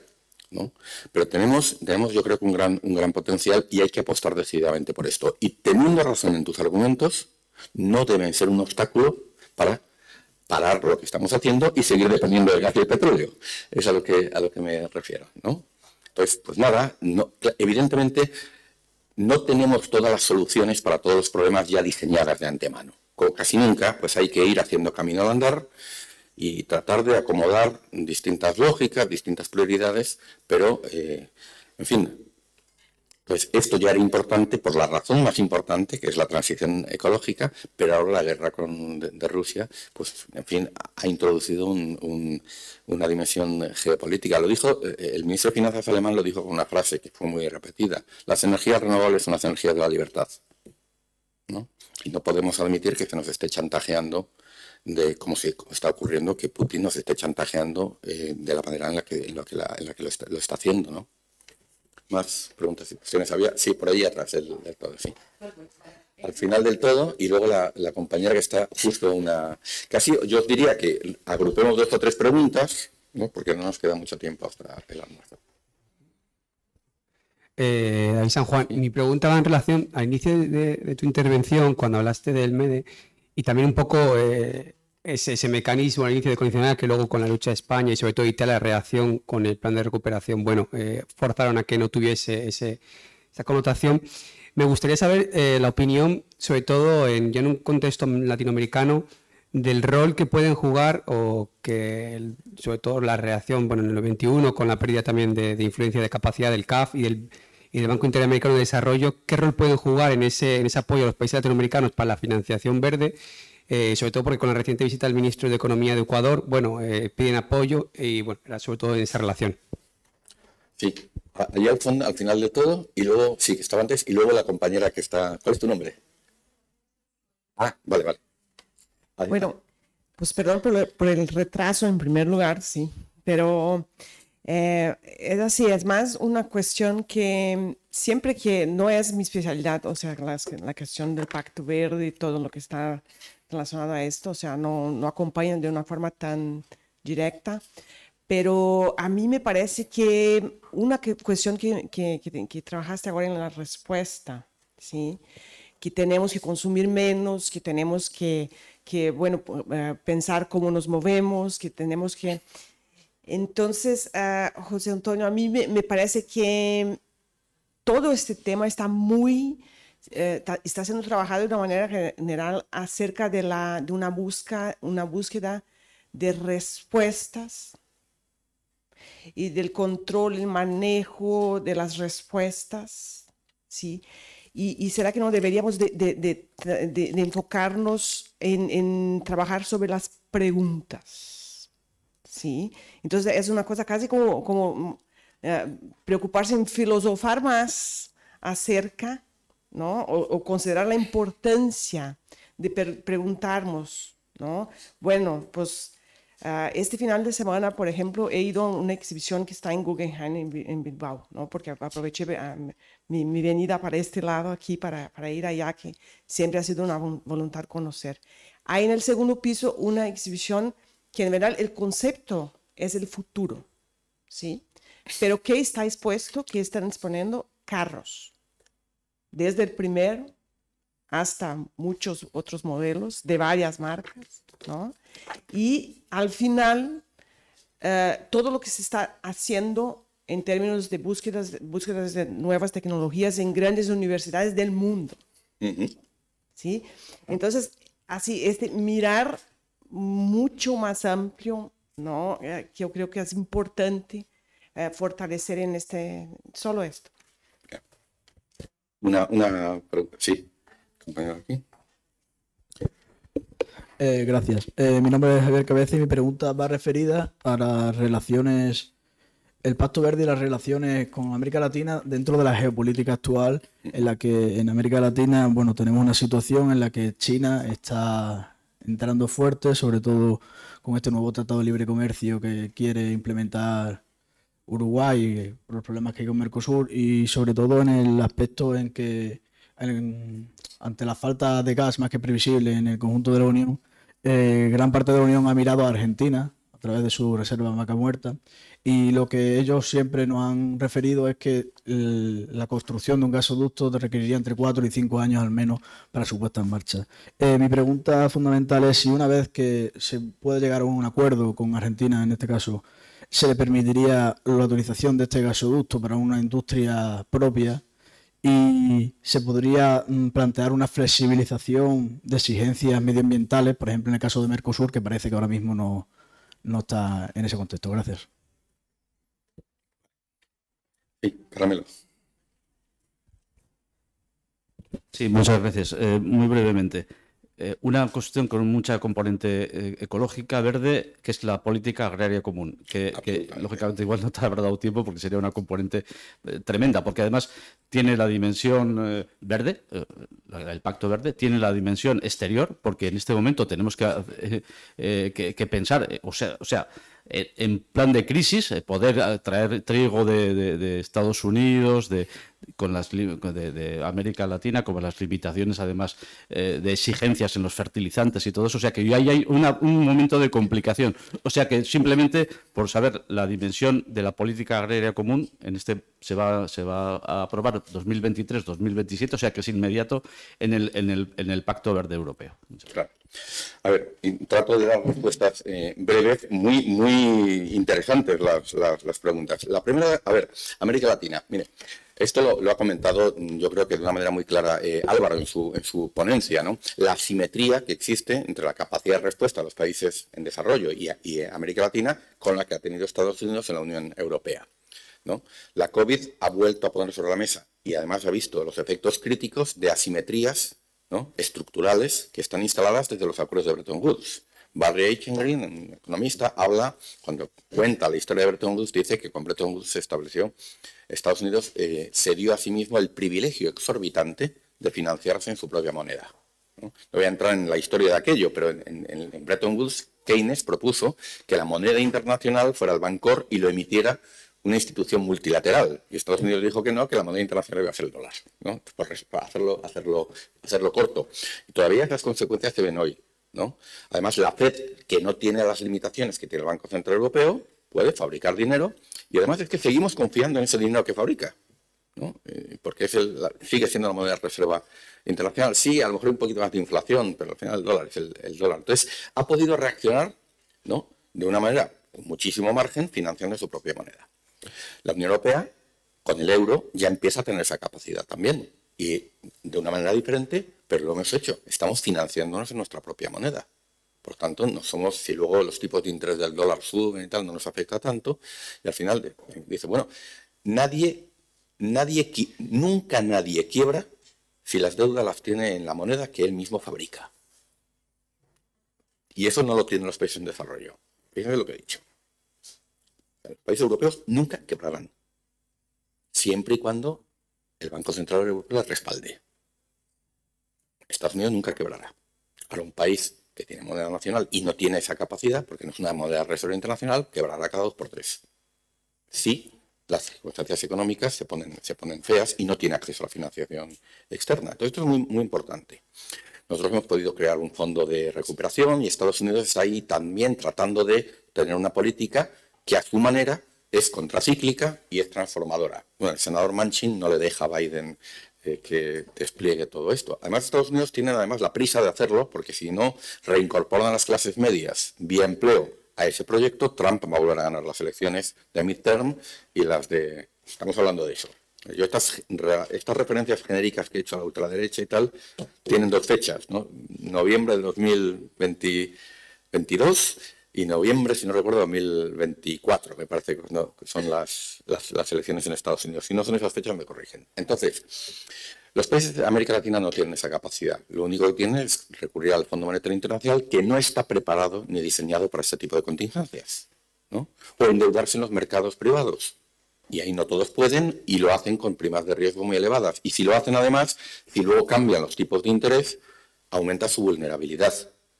Entonces, esto ha sido uno de los grandes condicionantes de la respuesta y lo es también para las necesidades de inversión que requieren las transiciones socioeconómica, digital y productiva y ecológica que América Latina también tiene. Entonces, se ha estado discutiendo sobre cómo afrontar eso. ¿no? Entonces, una de las posibilidades, miren, esta crisis del COVID ha sido de tal magnitud que se ha hecho algo inédito y es autorizar al Fondo Monetario Internacional a que emita una moneda que se llama los derechos especiales de giro, 600.000 millones.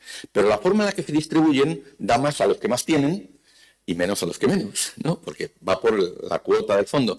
Entonces, una propuesta que se ha hecho, el gobierno español la ha apoyado, es que los derechos especiales de giro que no estamos utilizando los países europeos puedan, vía los bancos regionales, financiar Next Generations, fondos de recuperación en los países en, en- de América Latina, por ejemplo. Se ha dicho también por los países más pobres, pero nosotros lo que hemos defendido es que los países de desarrollo en transición, de ingreso medio, no queden fuera. Eso no sé, mm, probablemente tú tengas más información, Álvaro, pero yo creo que eso está parado este, en este momento o está discutiéndose a nivel técnico, pero bueno, no parece que vaya a ser. Y, y bueno, ahí hay instituciones como CAF, como el BID, ¿no? Como el, el BCIE para Centroamérica, que podrían encauzar perfectamente, son organizaciones técnicas, eh, saben hacer proyectos de inversión y que podrían hacer eso. CEPAL podría establecer los grandes marcos de planificación en, apo- en apoyo a los, planes nacionales. Es decir, tenemos la capacidad institucional instalada. Entonces, eso podría ser, de lo que tenemos a mano, es lo que se ha, lo que se ha pensado que podría eh, eh, digamos, responder a esa, esa necesidad. ¿no? Pero bueno, vamos a ver, porque esto requiere voluntad política y de, y de acuerdo. Lo que os puedo decir es que, bueno, el gobierno español ha sido impulsor, en fin, tiene con América Latina un compromiso y, un- una cercanía y ha estado apoyándolo eh, muy, muy claramente. En otras ocasiones, y con gobiernos de distinto signo político, también cuando ha habido, en el, caso, por ejemplo, de 2001, hubo en, en Argentina, el gobierno español eh, autorizó una línea de crédito extraordinaria para apoyar a Argentina en su, en su momento. Eh, bueno, esto sería la expresión eh, actual, pero bueno, a ver si esto sale adelante, ¿no? Como es una cuestión muy técnica y no está en los titulares, pues no veo yo movimientos sociales reclamándolo, ¿no? Salvo quizás algunas ONG de desarrollo que han estado trabajando en esta, en esta línea, ¿no? Como puede ser. Segundo, segunda cuestión que se ha, se ha- se ha- eh, planteado, ¿no? La, la- la cuestión del futuro, ¿no? Mira, hay un filósofo que ahora, digamos, está muy presente en los medios, que es Daniel Inerarity. Entonces, Daniel Inerarity, una de las reflexiones que tiene justamente, plantea ¿no? Eh, que, digamos, tenemos que, tenemos nuestras, nuestras sociedades y su capacidad reflexiva, él es un seguidor de Ulrich Beck, ¿no? Eh, se debe valorar y medir en términos de cómo nos relacionamos con el futuro. Decir, las políticas de hoy tienen consecuencias futuras para la siguiente generación, para el planeta, y que esto es algo que tenemos que dis- di- di- discutir. ¿no? Y en parte lo que estamos discutiendo con el Pacto Verde, con todas estas cuestiones, es en parte nuestra relación con el futuro, que hasta ahora hemos tenido bastante poco en cuenta. Hemos vivido con la lógica después de mi diluvio. ¿No? Entonces, eh, no puedo dar una respuesta muy precisa a esta, a, esta, a esta cuestión, pero desde luego nuestra discusión política tiene que incorporar a las generaciones futuras y al futuro en una manera mucho más clara. ¿no? En términos de responsabilidad con nosotros mismos, con quienes vendrán después y con el planeta. Y eso tiene que llevarse a todos los ámbitos de política, de política eh, pública, ¿no? Y, de, y, de- y definir incluso cuál es el límite entre la política pública y lo, que, en- y lo que en el entendido que es nuestra libertad individual podemos hacer. Dije antes de pasada que todo esto nos lleva a una discusión que reconfigura los ámbitos de lo individual, lo privado y lo común y lo colectivo. ¿no? Y cosas que creemos que son decisión individual en ejercicio de nuestras libertades tienen implicaciones para los demás. Por ejemplo, ¿puede un rico hacer uso irrestricto del jet privado? Porque tenemos datos que muestran que en términos de movilidad, el daño ambiental de emisiones que hacen los vuelos de jets privados, de una élite que cada vez es más grande y cada vez recurre más a ello, es enorme. No tengo los datos a mano, me gustaría tenerlos, pero búsquenlos, ¿no? Entonces dicen, oiga, mire, yo tengo dinero y esta es una sociedad libre. Mire usted, es que lo que usted está haciendo me daña a mí y daña a las generaciones futuras. Y la garantía de la libertad, como dijo Carl Polanyi, es la regulación, llegar a acuerdos sobre todo aquello que nos afecta. Decía eh, eh, Adela Cortina que todos estamos inevitablemente juntos en, en todas estas cosas. Y somos seres sociales, no una suma de individualidades. Yo no acepto la frase de Margaret Thatcher, there is no such thing as society. No, hay, somos seres sociales y tenemos que gestionar aquello que nos afecta colect- colectivamente y llegar a acuerdos. ¿no? Democracia deliberativa, representativa, eso, es la vía. Entonces, sobre movilidad tenemos que llegar a acuerdos. Entonces, en fin, oiga, ¿por qué yo no voy a poder tener un coche con motor de combustión? Pues mire usted, no puede.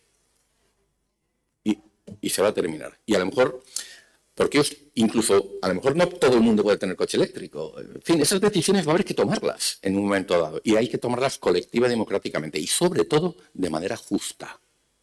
De manera justa. ¿no? Porque no puede ser que al final quien más recursos tenga, pues, en fin, siga como siempre y la carga de todo esto al final recae a los más vulnerables, en los menores ingresos, en nuestras sociedades y desde luego en nuestra relación. Lo que es importante de todo esto, y ya concluyo, es que la crisis climática, la emergencia climática, es la nueva arena de la política. La política a partir de ahora o aborda las cuestiones ambientales o no es política. Guste o no. Porque la política es lo común, son los acuerdos, son los desacuerdos, los conflictos de intereses y la forma en la que lidiamos con ellos. Y hoy tenemos que abordar toda, la, toda, esa, toda esa agenda. ¿no? Entonces, esto, esto es lo que, lo que también yo creo que define. tercero, se me, se me, preguntaba por la cuestión del, del, gas en el caso de Vaca Muerta, de todo esto. Bueno, pues esto eh, de, Argentina y sus reservas, creo que esta es la, la, la pregunta. ¿no?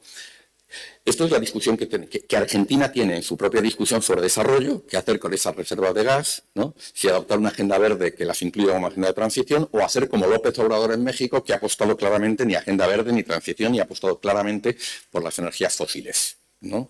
Estos son los dilemas. Y esto es lo que también habrá que lidiar. Dice, Argentina dice, bueno, hay que sacar el gas de vaca muerta, y eso es cinco años y supone X mil millones de euros o de dólares de inversión.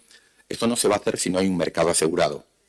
Y además hay que preguntarse también qué efecto tiene eso, esas inversiones, para la propia transición energética de Argentina. Es decir, ese gas natural va a significar reducir el carbón y el petróleo. En el caso de Argentina no mucho, porque no tiene una matriz energética en la que el carbón y el petróleo sean muy importantes. Tiene mucha hidroeléctrica, tiene mucha, eh, mucha, mucha renovable. Esto, hay que tenerlo en cuenta.